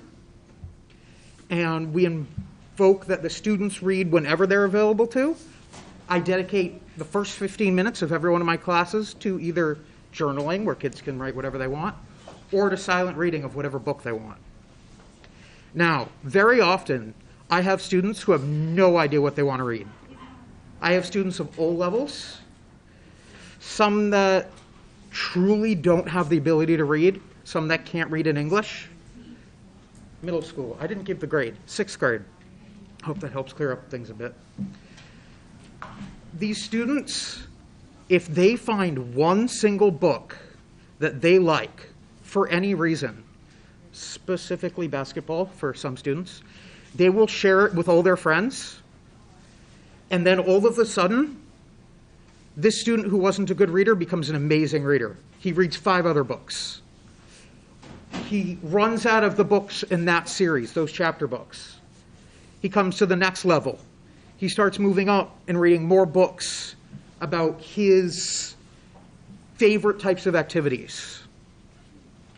And myself as a teacher, I'm not that interested in basketball, but seeing a student go from reading a graphic novel to reading a light book to reading a chapter book within the course of like four weeks is absolutely amazing. And it's the main reason I went into teaching. Um, to be a bit more clear, I'm not quite a teacher yet. I am a student teacher, but I am developing the units, I'm writing the units, so it's all the same. I brought my Millis student staff badge, so it's the same. That didn't let me in the school. I still had to ask. Um, now, why do I talk about all these books? Obviously, we're on the docket talking about two specific books that are related to LGBTQ issues. And it is important that students have books that they can learn from and that are interesting to them. I think that they can use those books not just to learn about themselves and to learn about others, but to help them learn how to read. If we take away books that someone finds a connection with, if I were to take away those basketball books because I find basketball offensive for whatever reason, all of a sudden, those students aren't going to reach that high level of reading. I could probably go on for another couple hours about students and reading and how much I love it, but this was ad hoc, so thank you.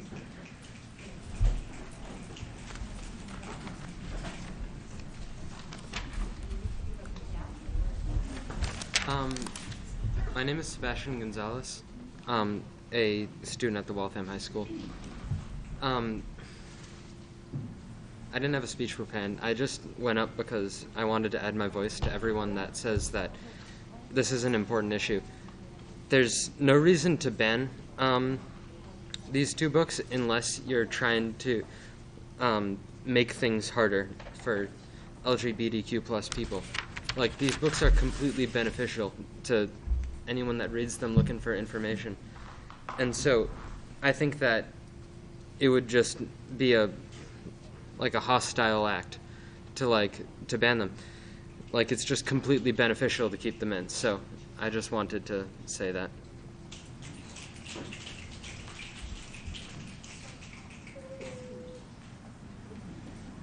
Anyone else wish, wish to speak? So Go I wasn't. thank you.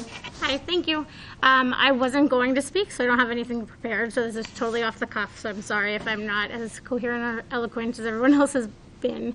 Um, I could, you know, repeat wholeheartedly, like shout it from the rooftops, so many of the things that have been shared here tonight, like how important representation is, how important it is for our students to feel included and part of their community, no matter who they are.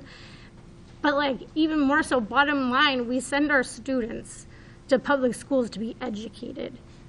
And I think we're doing them a great disservice that they have to look to one book in a library to learn about different ways of being human. This is all part of being human. This is biology, this is life, this is psychology, sociology. Like, we are meant to educate them and prepare them to be independent, you know, participating adults, respecting themselves and each other in their communities. And I don't, I think it, these things should be taught in the curriculum and not just a book. I think it's ridiculous that we are sending our students out uneducated and unprepared in something that is such a crucial part of being a human for the vast majority of people.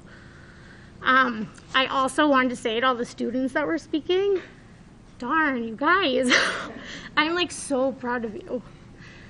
I think these students, to me, they came up here. They spoke before the, before all of these adults in the community, before their parents, before their peers, before the school committee, not just advocating for themselves, but advocating for each other and advocating for other people in their community. And that to me says that the educators in our school are doing a darn good job. Because those are exactly the kinds of skills these kids need. So that's all. I'm proud of you guys.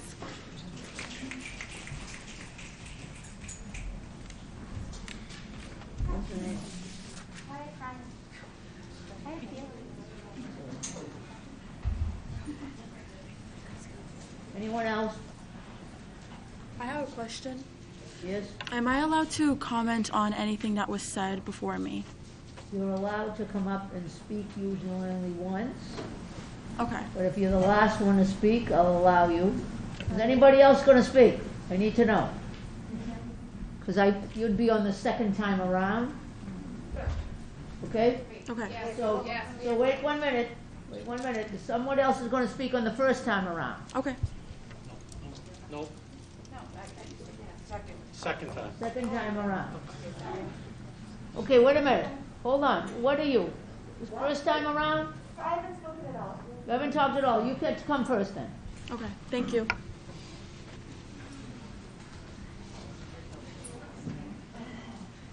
I had no intentions. Hi, I'm Tammy Lake. Um, I live at 34 Harvard Street in Waltham.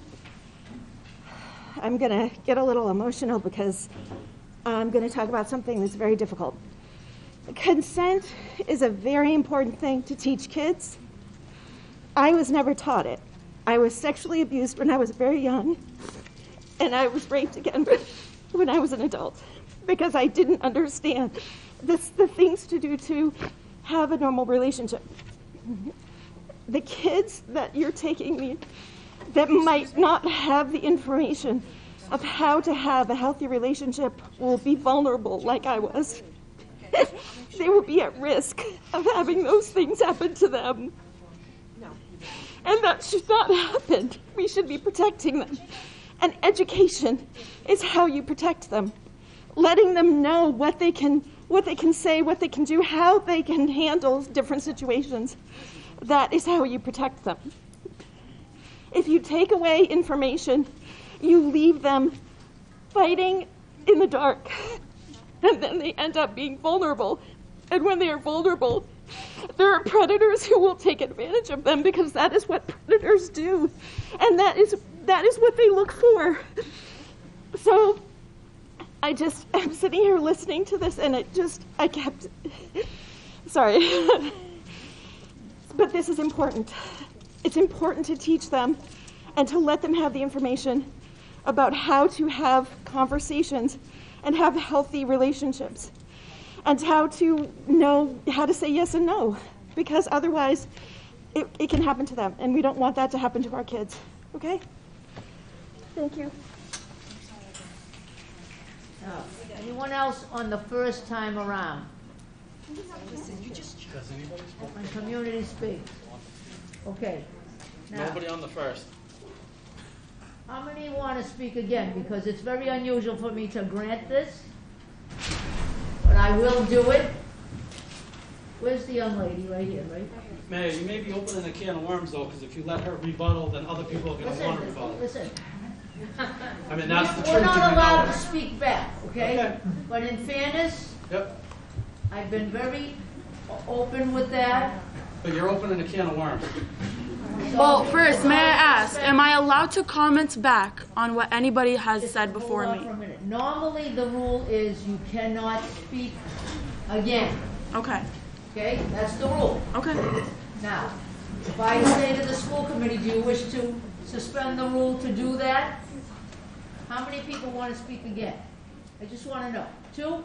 Two seconds. It Okay. depends on what she says. Hold on for a minute. Okay. Now, The only way I can do this is if we vote to suspend the rule.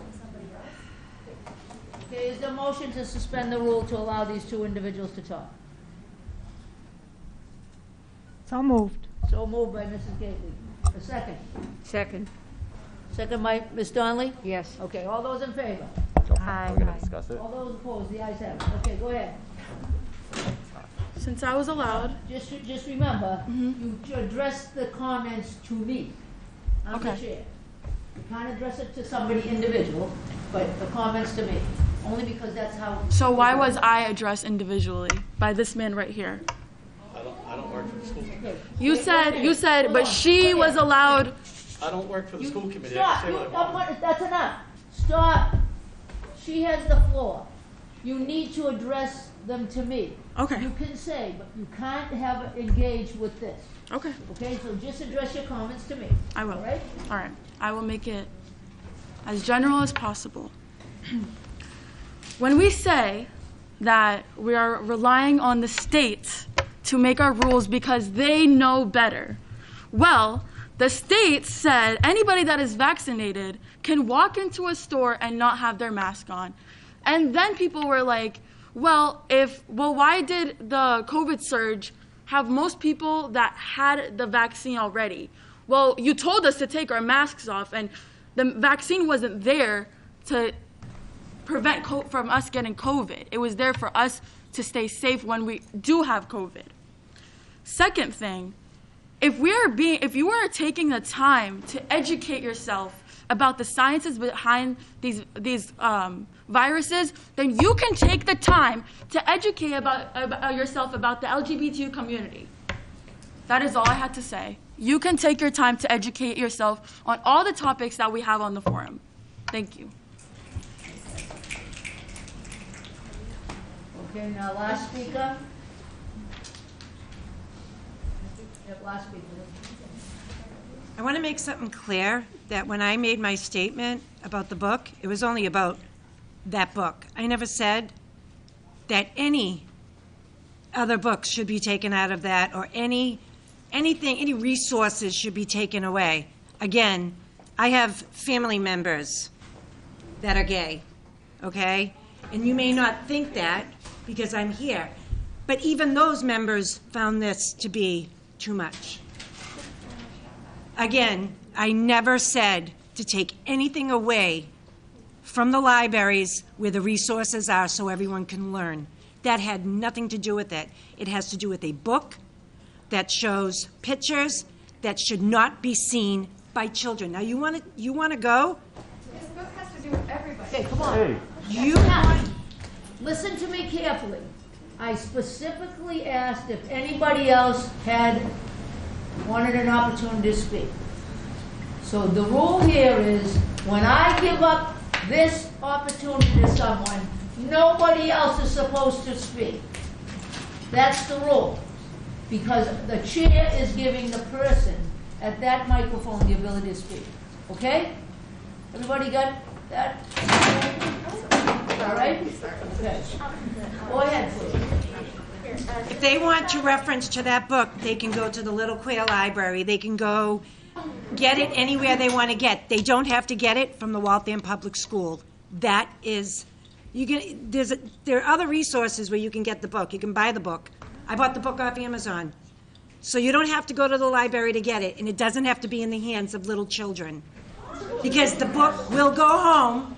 The book will go home and get into the hands of somebody younger. And if you say the book keeps going out, well, of course it's going out. That's curiosity from some people, because I know a few people that that's how I found out about it. A couple of boys being curious to see what was in the book. So that's what brings us here. Again, it's not about taking away resources, it's about taking that book off the shelves of the public library. Thank you. And I also want you to know that I got mauled out here, ran over by somebody, and she's here somewhere. There's no reason for anybody to be angry at me. I'm able to speak what I want to say without being plowed down by somebody. Thank you. Okay, now. Next item, student council, student input.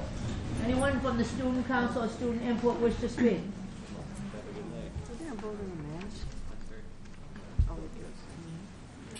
Uh, Hello. Good evening, everyone. Um, to address things that have been going on in the school, uh, this past Valentine's Day was a huge success as the junior class organized candygrams for the students to give each other. Not only that, but dance theater is putting on their performances over the next few days, so we're expecting a good turnout for those as well.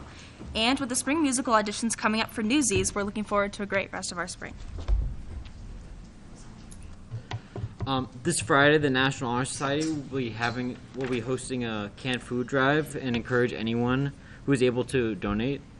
Um, also, about at six o'clock today, I, along with the rest of the Waltham Weston combined ski um, cross country ski team, returned with the team winning fourth place in the states, and also um, the on Friday the progress reports will be sent out to all families. Thank you. Okay. Next item, student, school council, excuse me, PTO, CPAC, Belpac input. I think there was a PTO. Yes, Yes, over here, okay, good. This one? You can Okay. go. You can go. Good evening. My name is Susan Bingham. I'm a former high school biology teacher. I hold a master's degree in educational psychology, and I'm co chair of the high school PTO. Members of the school committee may recall the results of the most recent youth risk behavior survey conducted of Waltham youth, but I'm going to summarize the parts salient to this discussion for everyone else. Of the approximately 1,650 students at the high school, 678 students responded. Of those, fewer than 13 students reported that they identify as transgender. Approximately 33 said they, they identified as non binary or gender expansive, and a full 25%, or approximately 170 students, identified as LGBTQ. For those curious, the numbers of members who've already self identified as members of this community at the middle school level are even higher. There, 8% identified as non binary gender expansive compared to 5% at the high school, and a full 30% identifies LGBTQ compared to 25% at WHS. Clearly, we can expect the number of students who identify as part of the LGBTQ plus community at Waltham High School to be larger in the future. The survey also showed us that the LGBTQ plus population at Waltham High School reported being at greater risk than all other identified populations. In the LGBTQ plus community, nearly twice as many students reported severe stress. Twice as many gay and bi students report depression compared to heterosexual students, and they are three times as likely to be bullied. They are also more likely to abuse alcohol and drugs than other school populations. Their mental health needs are not being addressed, and we need to work on greater understanding and acceptance of LGBTQ students in our broader community. If that wasn't enough, our LGBTQ students are among our most sexually active and sexually victimized. Our LGBTQ students are 20% more likely to engage in sexual activity than are their heterosexual counterparts, and they are three times more likely to be victims of dating and sexual violence. As regards the issue before us this evening, they need more support to address their sexual, sexuality, sexual health, and relationship needs, not fewer. From the number of students reporting as being members of the community and the issues they deal with, you would think that the GSA would be huge, but it isn't. It's generally about 15 students providing support to one another. They have community and they have pride. What they and the hundreds of other students in our school's LGBTQ community clearly don't have yet is justice. And I thank Renee Arena for bringing this issue to our attention, sincerely. Obviously, available library selections are only part of what needs working on, but they are what we're here to discuss tonight. I have read both of the books in question and have looked at the broader collection of books on sex, gender, and sexuality available at the Waltham School Library. I support the library's decision to get a more updated version of the book, This is Gay, and I found Genderqueer to be an outstanding book. I found that there are fewer than 20 books on sex, gender identity, and sexuality in our high school's collection, and that includes heterosexuality. And I understand that there are only about 40 books in the entire 1,500 volume library collection specifically on LGBTQ issues. While a solid number of them are excellent, there are a significant majority, like the version of This Book is Gay in discussion, that are grossly out of date. Only one book in the entire sexuality section is in Spanish. None of the volumes in the nonfiction section address sexuality, gender identity, and sexual and relationship health in an intersectional manner. To that end, I am proud to announce that the Waltham High School PTO is starting a fundraiser to help our truly excellent library staff to expand upon the offerings related to sexuality, gender identity, and sexual relationship health in the high school library. These will address the needs of our cisgendered, heterosexual, and LGBTQ students alike, and will include materials pertaining to our students of color, those with disabilities, those who are neurodiverse, and those who are recent immigrants to our country. Checks can be made out to Waltham High School Library with library written in the memo, and my fellow co chairs and I are happy to receive your donations tonight or at any time in the future. We are grateful to the teachers and staff of Waltham Schools for working to create a safer community for all of our students, and to the assembled community for coming and speaking tonight, and to the committee for its time and attention to this important issue. I thank you. Okay. Now, that closes all of the public hearings. Next item, consent agenda. Mayor, would you, would you consider um, a- asking the committee about item 7A? We have several staff members here tonight to give a presentation under that agenda item, and I don't know if the committee would consider moving that item up. So moved. So moved by Mr. Tarallo, Second. second by who? Me. Mrs. Aldemar. All those in favor? Aye. Aye. All those opposed? The ayes have it. Thank you very much. I appreciate that. We'll move 7 I- 7A, middle school schedule update. Perfect timing to sign out. Ms. Kent, sorry. The lights are off again. So is Eddie around? Eddie Biddy around? Nope, they're back on. So I'm going to introduce our Assistant Superintendent for Teaching and Learning, Sarah Kent, who's going to start this presentation. We have several members of a committee that have been working for the past few months on looking at a refresh of our middle school schedule. And Ms. Kent will start us off and then turn it over to other members of the committee. Good evening. Honorable Mayor McCarthy, school committee members, Dr. Regan, Mrs. Landry. Um, We are here tonight to share with you some exciting work that the middle school team has been doing around their schedule for next school year. As uh, Dr. Regan just mentioned, we had a very diverse committee of about 21 members who all were, had started this work back in, the, in October, and we've met several times along the way and had a lot of work in between those meetings as well. So instead of introducing them all or reading the slide to you, several of them are here tonight and have stayed through our public comment session to support this initiative. And I just ask that those of them who are on the committee would just stand. We have teachers, building administrators, directors, and central office folks who all contributed to this. It was a wonderful team, and I was honored to facilitate it. We started our process with goal setting. What did we want to achieve by looking at our schedule? And we did that through data analysis and then prioritization. We came up with four goals. As you know, it's very difficult to have a schedule that meets all your goals. Um, it's always trade offs. But our four goals included flexibility to increase access to different courses and supports for our students, to sup- support social emotional learning, to include choice, and to value teacher collaboration time. In the background of this, we also we all are realize and are aware that dual language is extending up into Kennedy Middle School next year. We wanted to make sure that this would fit that as well. Once we established our goals, we had a, a survey to all middle school staff to get their input on these goals. You can see the questions there, I won't read them to you. But staff members filled this out during meeting time, and we looked through patterns and trends and found good ideas.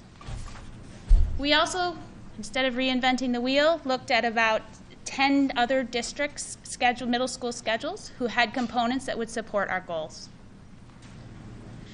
I'm going to introduce uh, Mike Saban, principal of the McDevitt, to start and explain the first part of our refresh.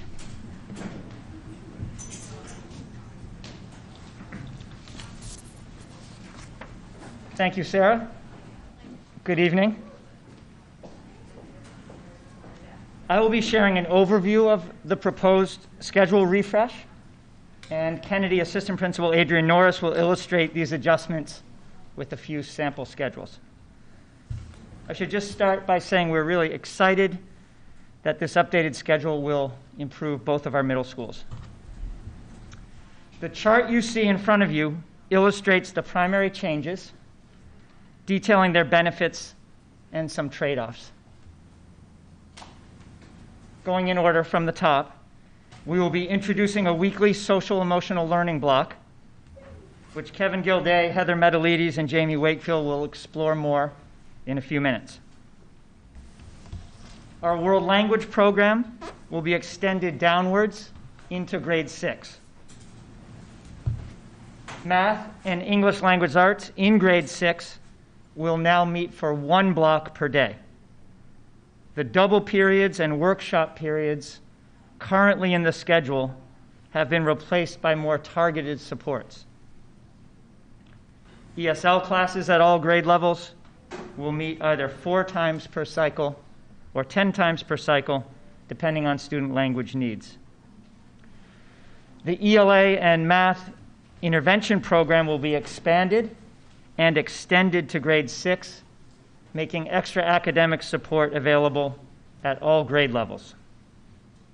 And health class will now meet twice per cycle for half the year rather than once per cycle for the whole year.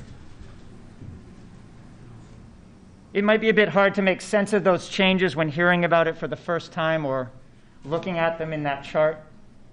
So, just to, to summarize, from the angle of our core ac- academics, what we call MESH in Waltham math, English, science, and history continuity is the main takeaway. These MESH classes at all three grade levels in both schools will continue to meet for one full period every day. Our teacher teams will continue to work together as clusters or grade level curriculum groups at both schools, and our class sizes will remain small as they are. The curriculum will remain the same. Most of the schedule adjustments are in the FAPA or the Fine and Performing Arts area and Practical Arts. The new FAPA schedule has increased flexibility with classes meeting either two times or four times per cycle. Students will experience a balance of wellness, academics, and arts. Students in need of extra support in literacy or math can access the help needed at all grade levels. Students will also benefit from the addition of world language in grade six, and a new FAPA class will be created and added at each grade level.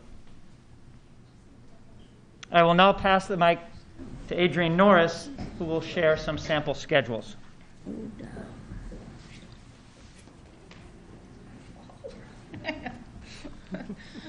Good evening.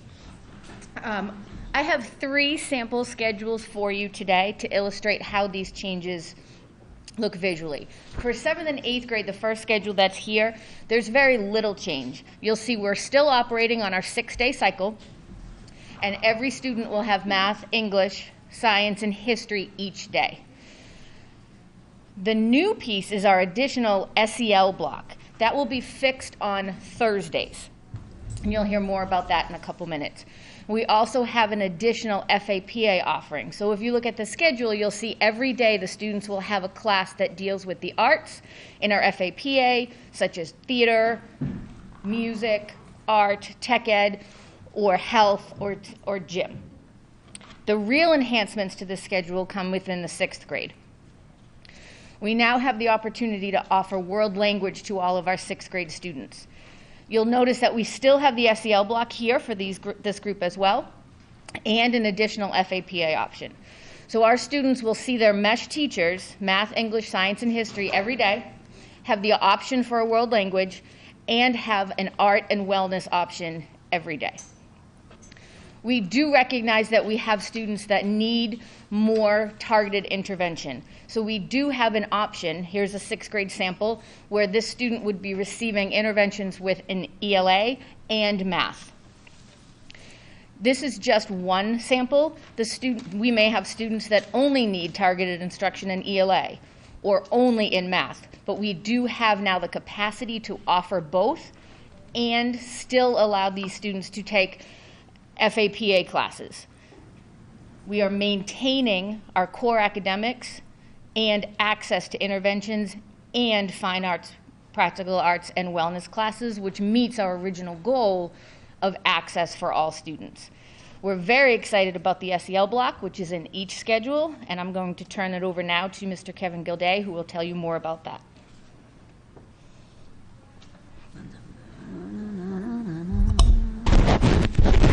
Kathy, school committee members, Dr. Regan, Ms. Landry. Tonight, I'm very pleased to present Part B, Part B of our schedule refresh plan.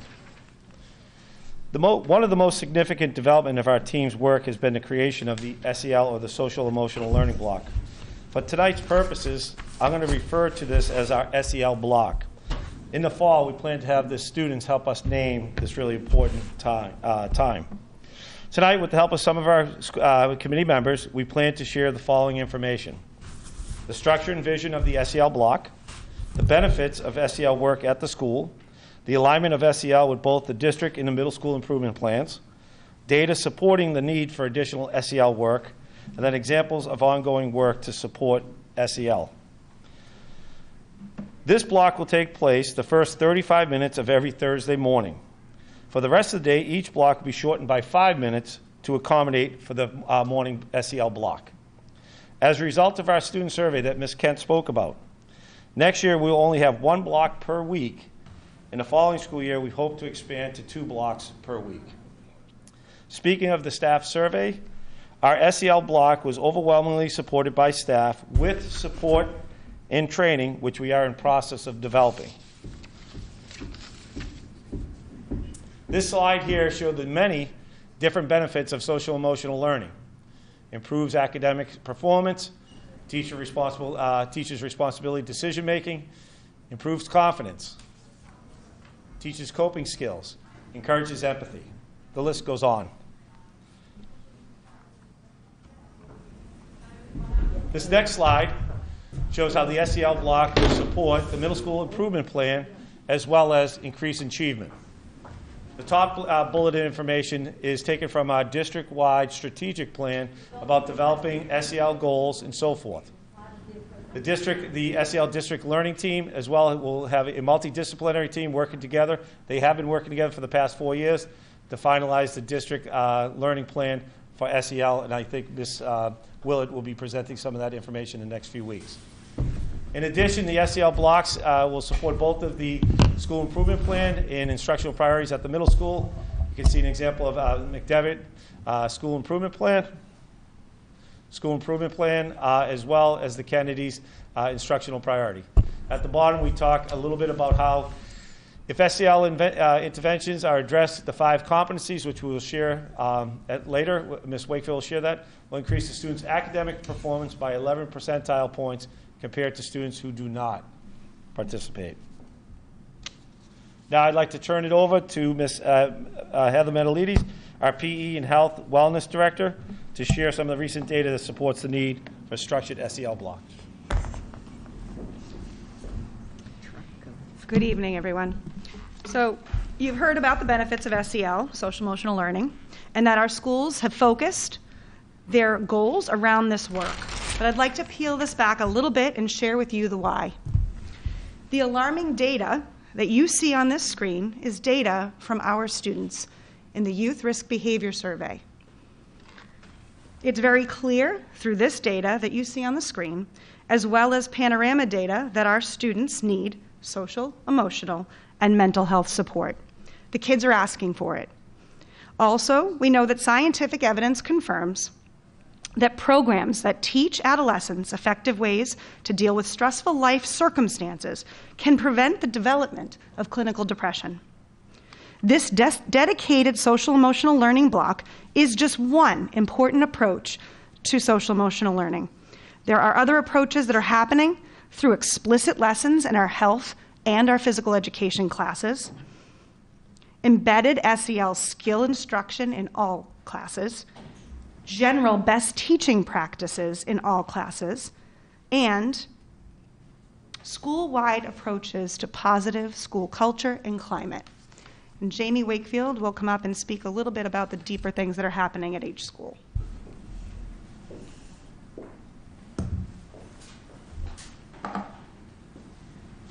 Good evening. As you've heard, we are hoping to add a social emotional learning block to our schedule proposal. I also wanted to highlight our ongoing work in social emotional learning right now. Currently, we have over 35 educators who are being trained in restorative circles, and they will also be able to train others at their respective schools. We also wanted to highlight that at both middle schools, students are participating in community building activities daily, such as monthly Mustang meetups and the Kennedy Kindness Projects. At each building, students are participating in activities that focus on self awareness, self management, social awareness, relationship skills, and responsible decision making. I'm now going to turn this presentation back over to Sarah Kent to summarize our schedule plan.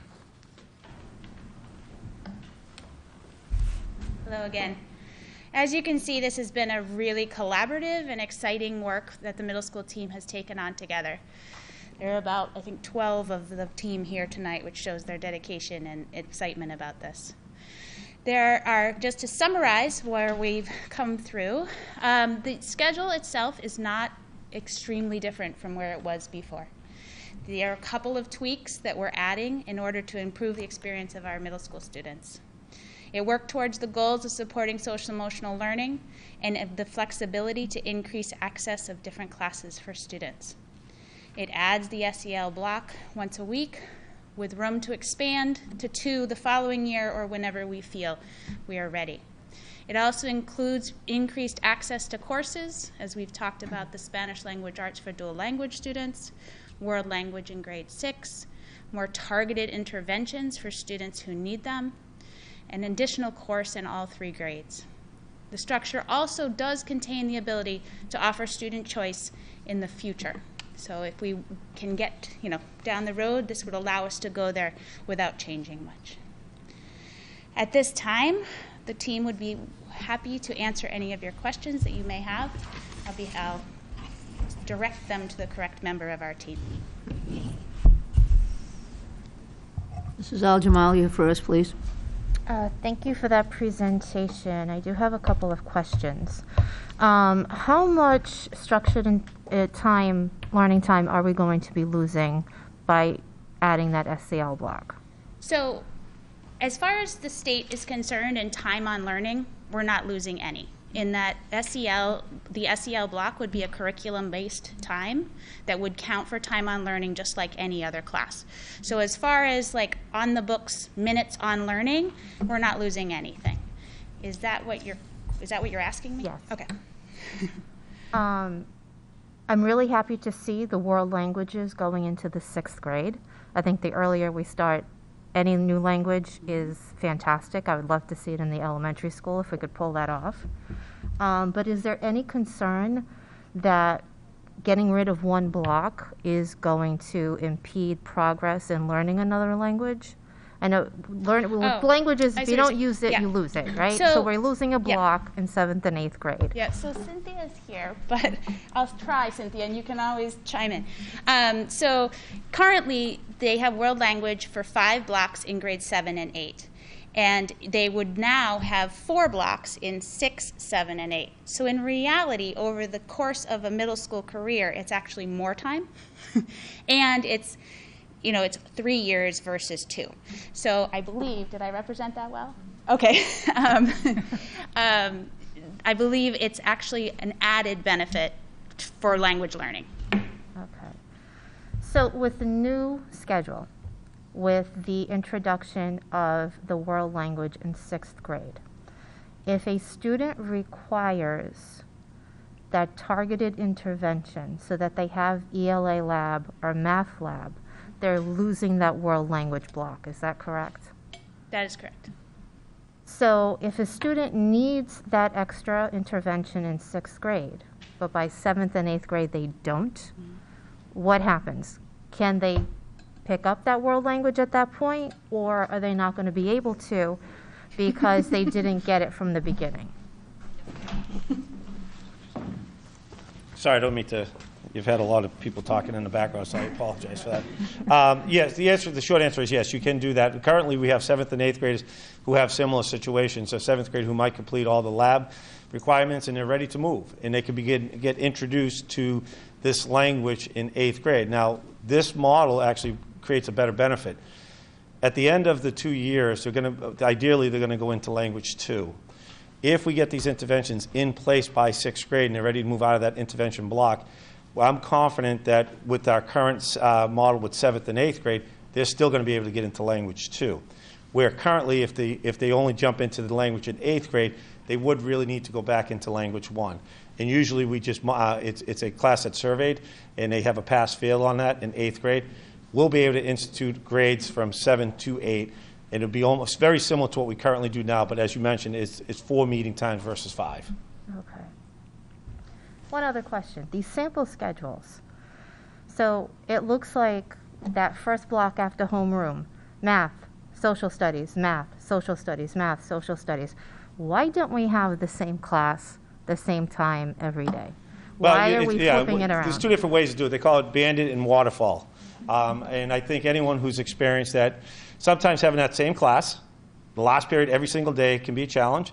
Having that water, it's been a recommend, it's been uh, brought to us. The teachers are laughing. I'm sorry. They teachers have made it very clear to us that having a waterfall is the preferred way of doing it. During when we were in remote and we had WSO, we did have a little bit of that bandit opportunity because we had essentially three schools that had to align: McDevitt, WSO, and then Kennedy. We have the autonomy now to create this waterfall, so you don't have that, and, and it's a struggle. And it- it's not just a teacher thing, to be honest with you. Uh, if we have a situation where, um, for example, say my preferred class is not science and I have a first period, well, I'm going to come in at nine o'clock And I'm going to make sure I miss science every single day, and it's not going to affect the rest of my day. There's other ways to address that other than scheduling, but that is one way that we want to make sure that there's a little bit more of a balance of how we move through the scheduling. Okay, thank you. I also, can I just add, having, being the mother of a teenager, that first block also is tough to get them to participate well in. Mrs. Coleman. Um, thank you so much. That was a great presentation. Um, Liz actually asked the majority of the questions that I had. Um, I think introducing the language at sixth grade is an absolutely wonderful idea, and the longer that they can be exposed to that and the earlier, the better. Um, will they have a choice in language at this point? Okay. Yeah, they, they would be able, as sixth graders, to choose into which language they would like to study. Great. Thank you. Mr. Tarallo next. Thank you guys for all the work that you're doing, all the work that you've done and continue to do to help make our, our students' day the best it can be. Um, with the schedule the way it is, if I'm a student who needs a learning center because I'm on an IEP, am I going to have the choice between either taking a language or taking um, an art class or a health class? How does that work? In the proposed schedule? Yes. Mr. Saban, you want to answer that? Thank you. Um, Of course, short of extending the school day, there always have to be some scheduling trade-offs when we add in help of any kind. Uh, What we like, one of the things we like in the current schedule is that by having all classes two periods or four periods in that FAPA block, there are more options for students. So students who have received some sort of special education services during that time have always had to give up some number of other options, world language or FAPA. In this schedule, we believe there's at least one more class they'll be able to take while still getting their services. So they will be sacrificing something in exchange for those services, but they will have an increase in options over what they currently have. Okay. So more specifically, I, I know they have to give up something. When I was um, going through school, I had to give up my my FAPA classes. But now that we have the option of the language or and FAPAs, are they going to get the opportunity to choose which one's better for them, or is it you're either going to take the language, like everyone's taking the language, so it's going to be the the FAPA classes, or are they going to have the ability to, you know, forgo the language at this stage and do the FAPA? I just want to make sure that that's Yeah, so um, we'll have to play out all the options. The language being four periods is harder to fit in than a two-period class would be. But I think we would have to look at each individual scenario. There, there are 12 periods in that FAPA block, and if four were taken up for a structured reading, say, two for PE and some for health, there, there are sufficient periods available to take a world language, but then a lot of other things would be given up. So we will plan to offer families some choices there. That's great. Um, in terms of the length of the blocks, how long are the blocks going to be in the new schedule? So as you know, our traditional blocks have been 57 minutes. They were then shortened over the last two years to add in times for breaks and some of the complications of lunch uh, during COVID time. So they were shortened more to 52 to 55 minutes. Um, I don't think all of those minutes have been completely resolved yet for next year. There's variables we're not sure of, and we have to figure out the exact passing time between periods, which has generally been three minutes, but could be shortened slightly.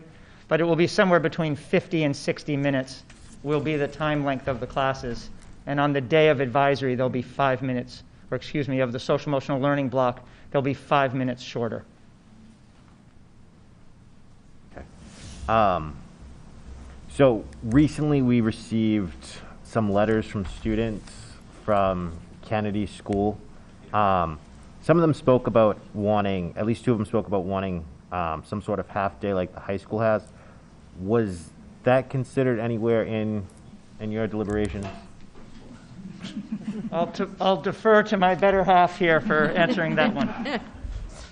I, I believe Ms. Corey is here. I would imagine it may, may have come from her class. Uh, it was a, was an activity about writing persuasive essays. I know that uh, Dr. Regan responded to some kids. I got very passionate letters about wearing hats in school, uh, and it was a wide range of them. And I'm sure they talked about um, the the half a day model, and that's something obviously that we, we could explore. Uh, I'm not exactly sure how it is uh, laid out here at the middle at the high school.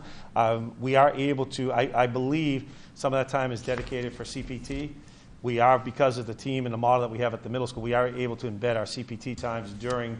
Um, right now, currently, the, the Kennedy has all their CPT times on day one, and McDevitt has on day three. So we are able to embrace that type of time within the school day. But if you folks want to move to a half a day, I'm sure you're going to have a bunch of happy kids out in Waltham tonight.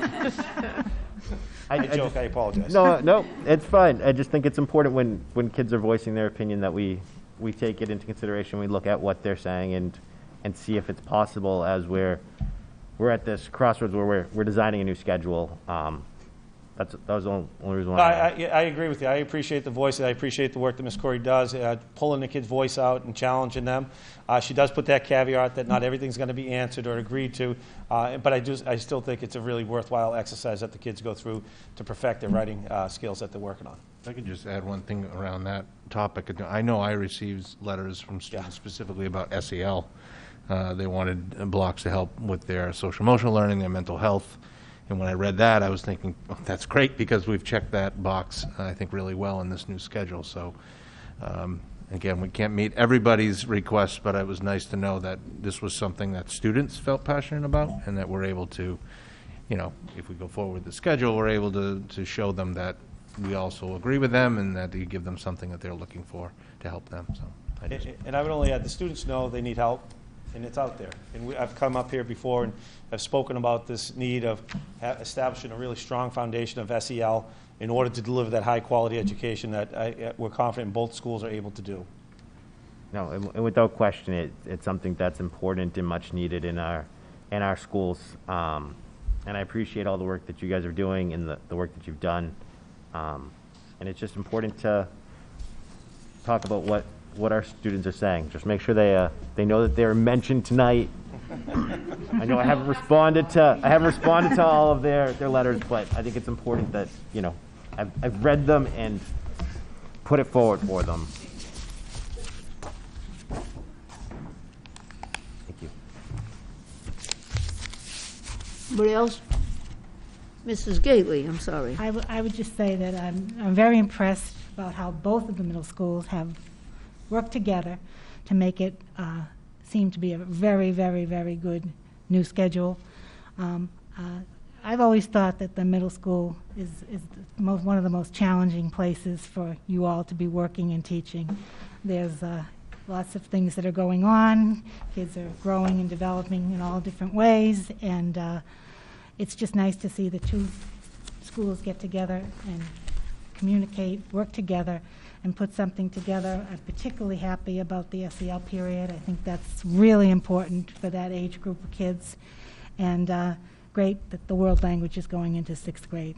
So congratulations and thank you for your hard work. Ms. Donnelly, then Mr. Fresco. Thank you. Yes, this, the schedule is amazing. I think I'd have a hard time following it now. There was a period of time for for about three or four years that I did teach middle school. And, I mean, uh, yes, it was then sixth, seventh, and eighth. And it all had to do with how many fit in the building, you know, because the, um, no, excuse me, the eighth moved to the high school. The high school had been built and had extra room in it, you know.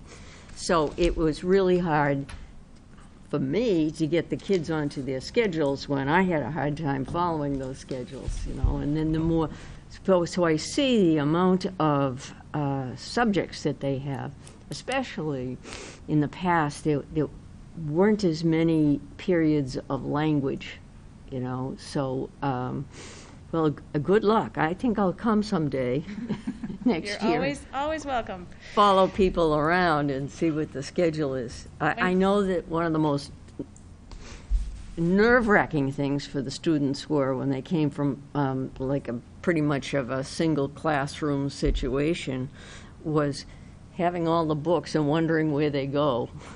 Well, i- if you do come visit, I'm sure you'll see in both buildings, they, most of them have a binder, and in the front sleeve on that front is their schedule, you know, so they're very well organized. Um, Middle school is about organization and learning how to learn as well, so. Yes, yes, but thank you anyway. It, uh, I, I definitely will. 'cause I, I mean, they even have drama here. Mhm. We have drama down in kindergarten. Well, hello, yes, yes, good drama. Tears when I can't find my schedule. Or, are the, tell me, are the students using their lockers at all now? They are. Because that's always been something in the high school, they tend not to use them, and, but they are in the middle school, so they can just stop and pick up what they need or drop off stuff. Yeah, okay, thank you. Mr. Fresca. Thank you. So I'm not going to complain that the only language I saw up there was Italian. But what are the what are the other languages that are being offered in the middle school, please? So we have Spanish, Italian, French. That's it, okay. Okay. Just so I want, I just wanted to know. Um, uh, Mr. Saban mentioned something about, um, you know, you'll have to figure that out as the time goes on with, with the question of Mr. Tarallo. I think it was Mr. Tarallo. When do you think that would be? I mean, to, to- when would the figuring out part be happening? Because this hasn't even kicked in yet. So I think this schedule, one of the things we like about this schedule is that it can evolve over time. The current schedule has different classes that might meet five times every six days, three times, two times, one time. It's a puzzle that locks together and has almost no flexibility. And sometimes kids are tracked into classes with a same set of kids across their schedule because it's so interconnected. And that limits students' choices and it limits our choices. So, what we like about this schedule is that everything's in twos and fours, it's much more flexible, and it will offer a lot of choice. We're not accustomed to giving that much choice in middle school compared to high school, so this is something that we'll be learning. We anticipate in keeping that choice fairly limited in our first year of the new schedule.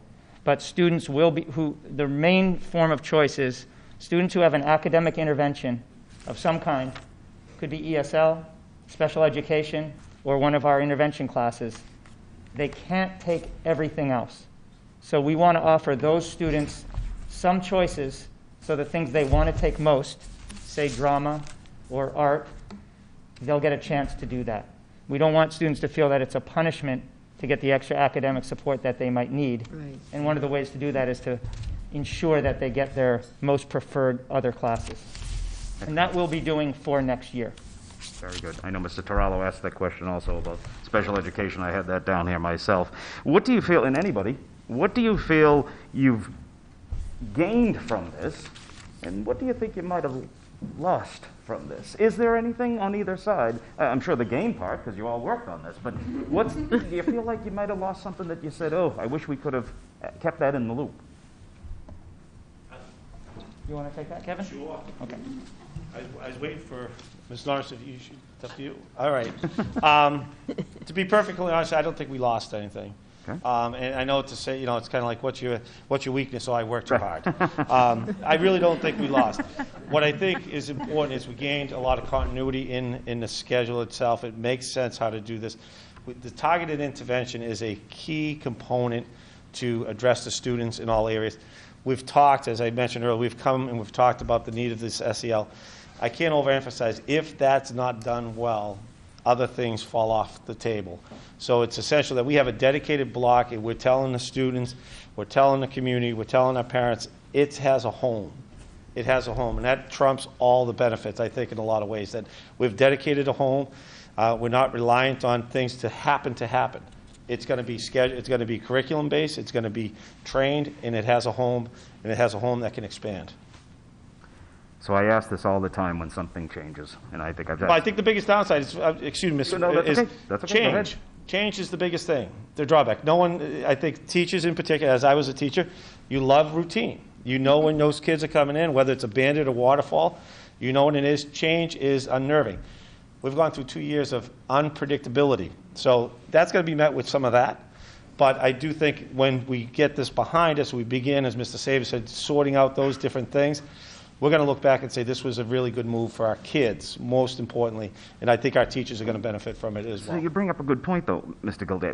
Was this the, the, the best time to do it because of what we've dealt with for two years? Or is this, you know, now we got to do this? Let's do it before we really all start to get back into the swing. of it. Ms. Kent will tell you, I've, I've talked about this for a little while. Okay. Um, I think the time is optimal. while. I think the time is optimal to do it now. Very good. Uh, Final, I guess, question. And again, this is what I said earlier. I, I start to ask these, que- I ask it all the time, something changes. Are we going to keep an eye on it that if we have to tweak something here and there, and not just what, you know, Mr. Saban was talking about, but that we have to do something to keep it going straight? Will that be watched? Yes. Because I always get concerned that if it doesn't, and we forget, you know? Yeah, and I think that that's one of the things about the flexibility that is so good. If we've got something that's off or some group that's not getting their meet, needs met or something is happening, we, we can flex and twist. Can I just add one thing that I think we gained? Please. Was great teamwork across two buildings. Across, Across two buildings. Across two As you buildings. saw tonight, you know, th- they had some wonderful discussions about kids, what kids need and how to meet the kids' needs that were really great. Everybody shaking their head, yes? Thank you very much. Everybody else set? Okay, thank you for all your work, because I know you're trying to meet the needs of the children, all children. Tonight, we heard how we don't meet the needs of kids. And I think it's important, you know, we've always had a human maturation course, fourth and fifth grade. Middle school is a key, critical time for children, and I think these will provide more resources in the classroom as part of the curriculum to address the needs of all children. So thank you very much for all your work.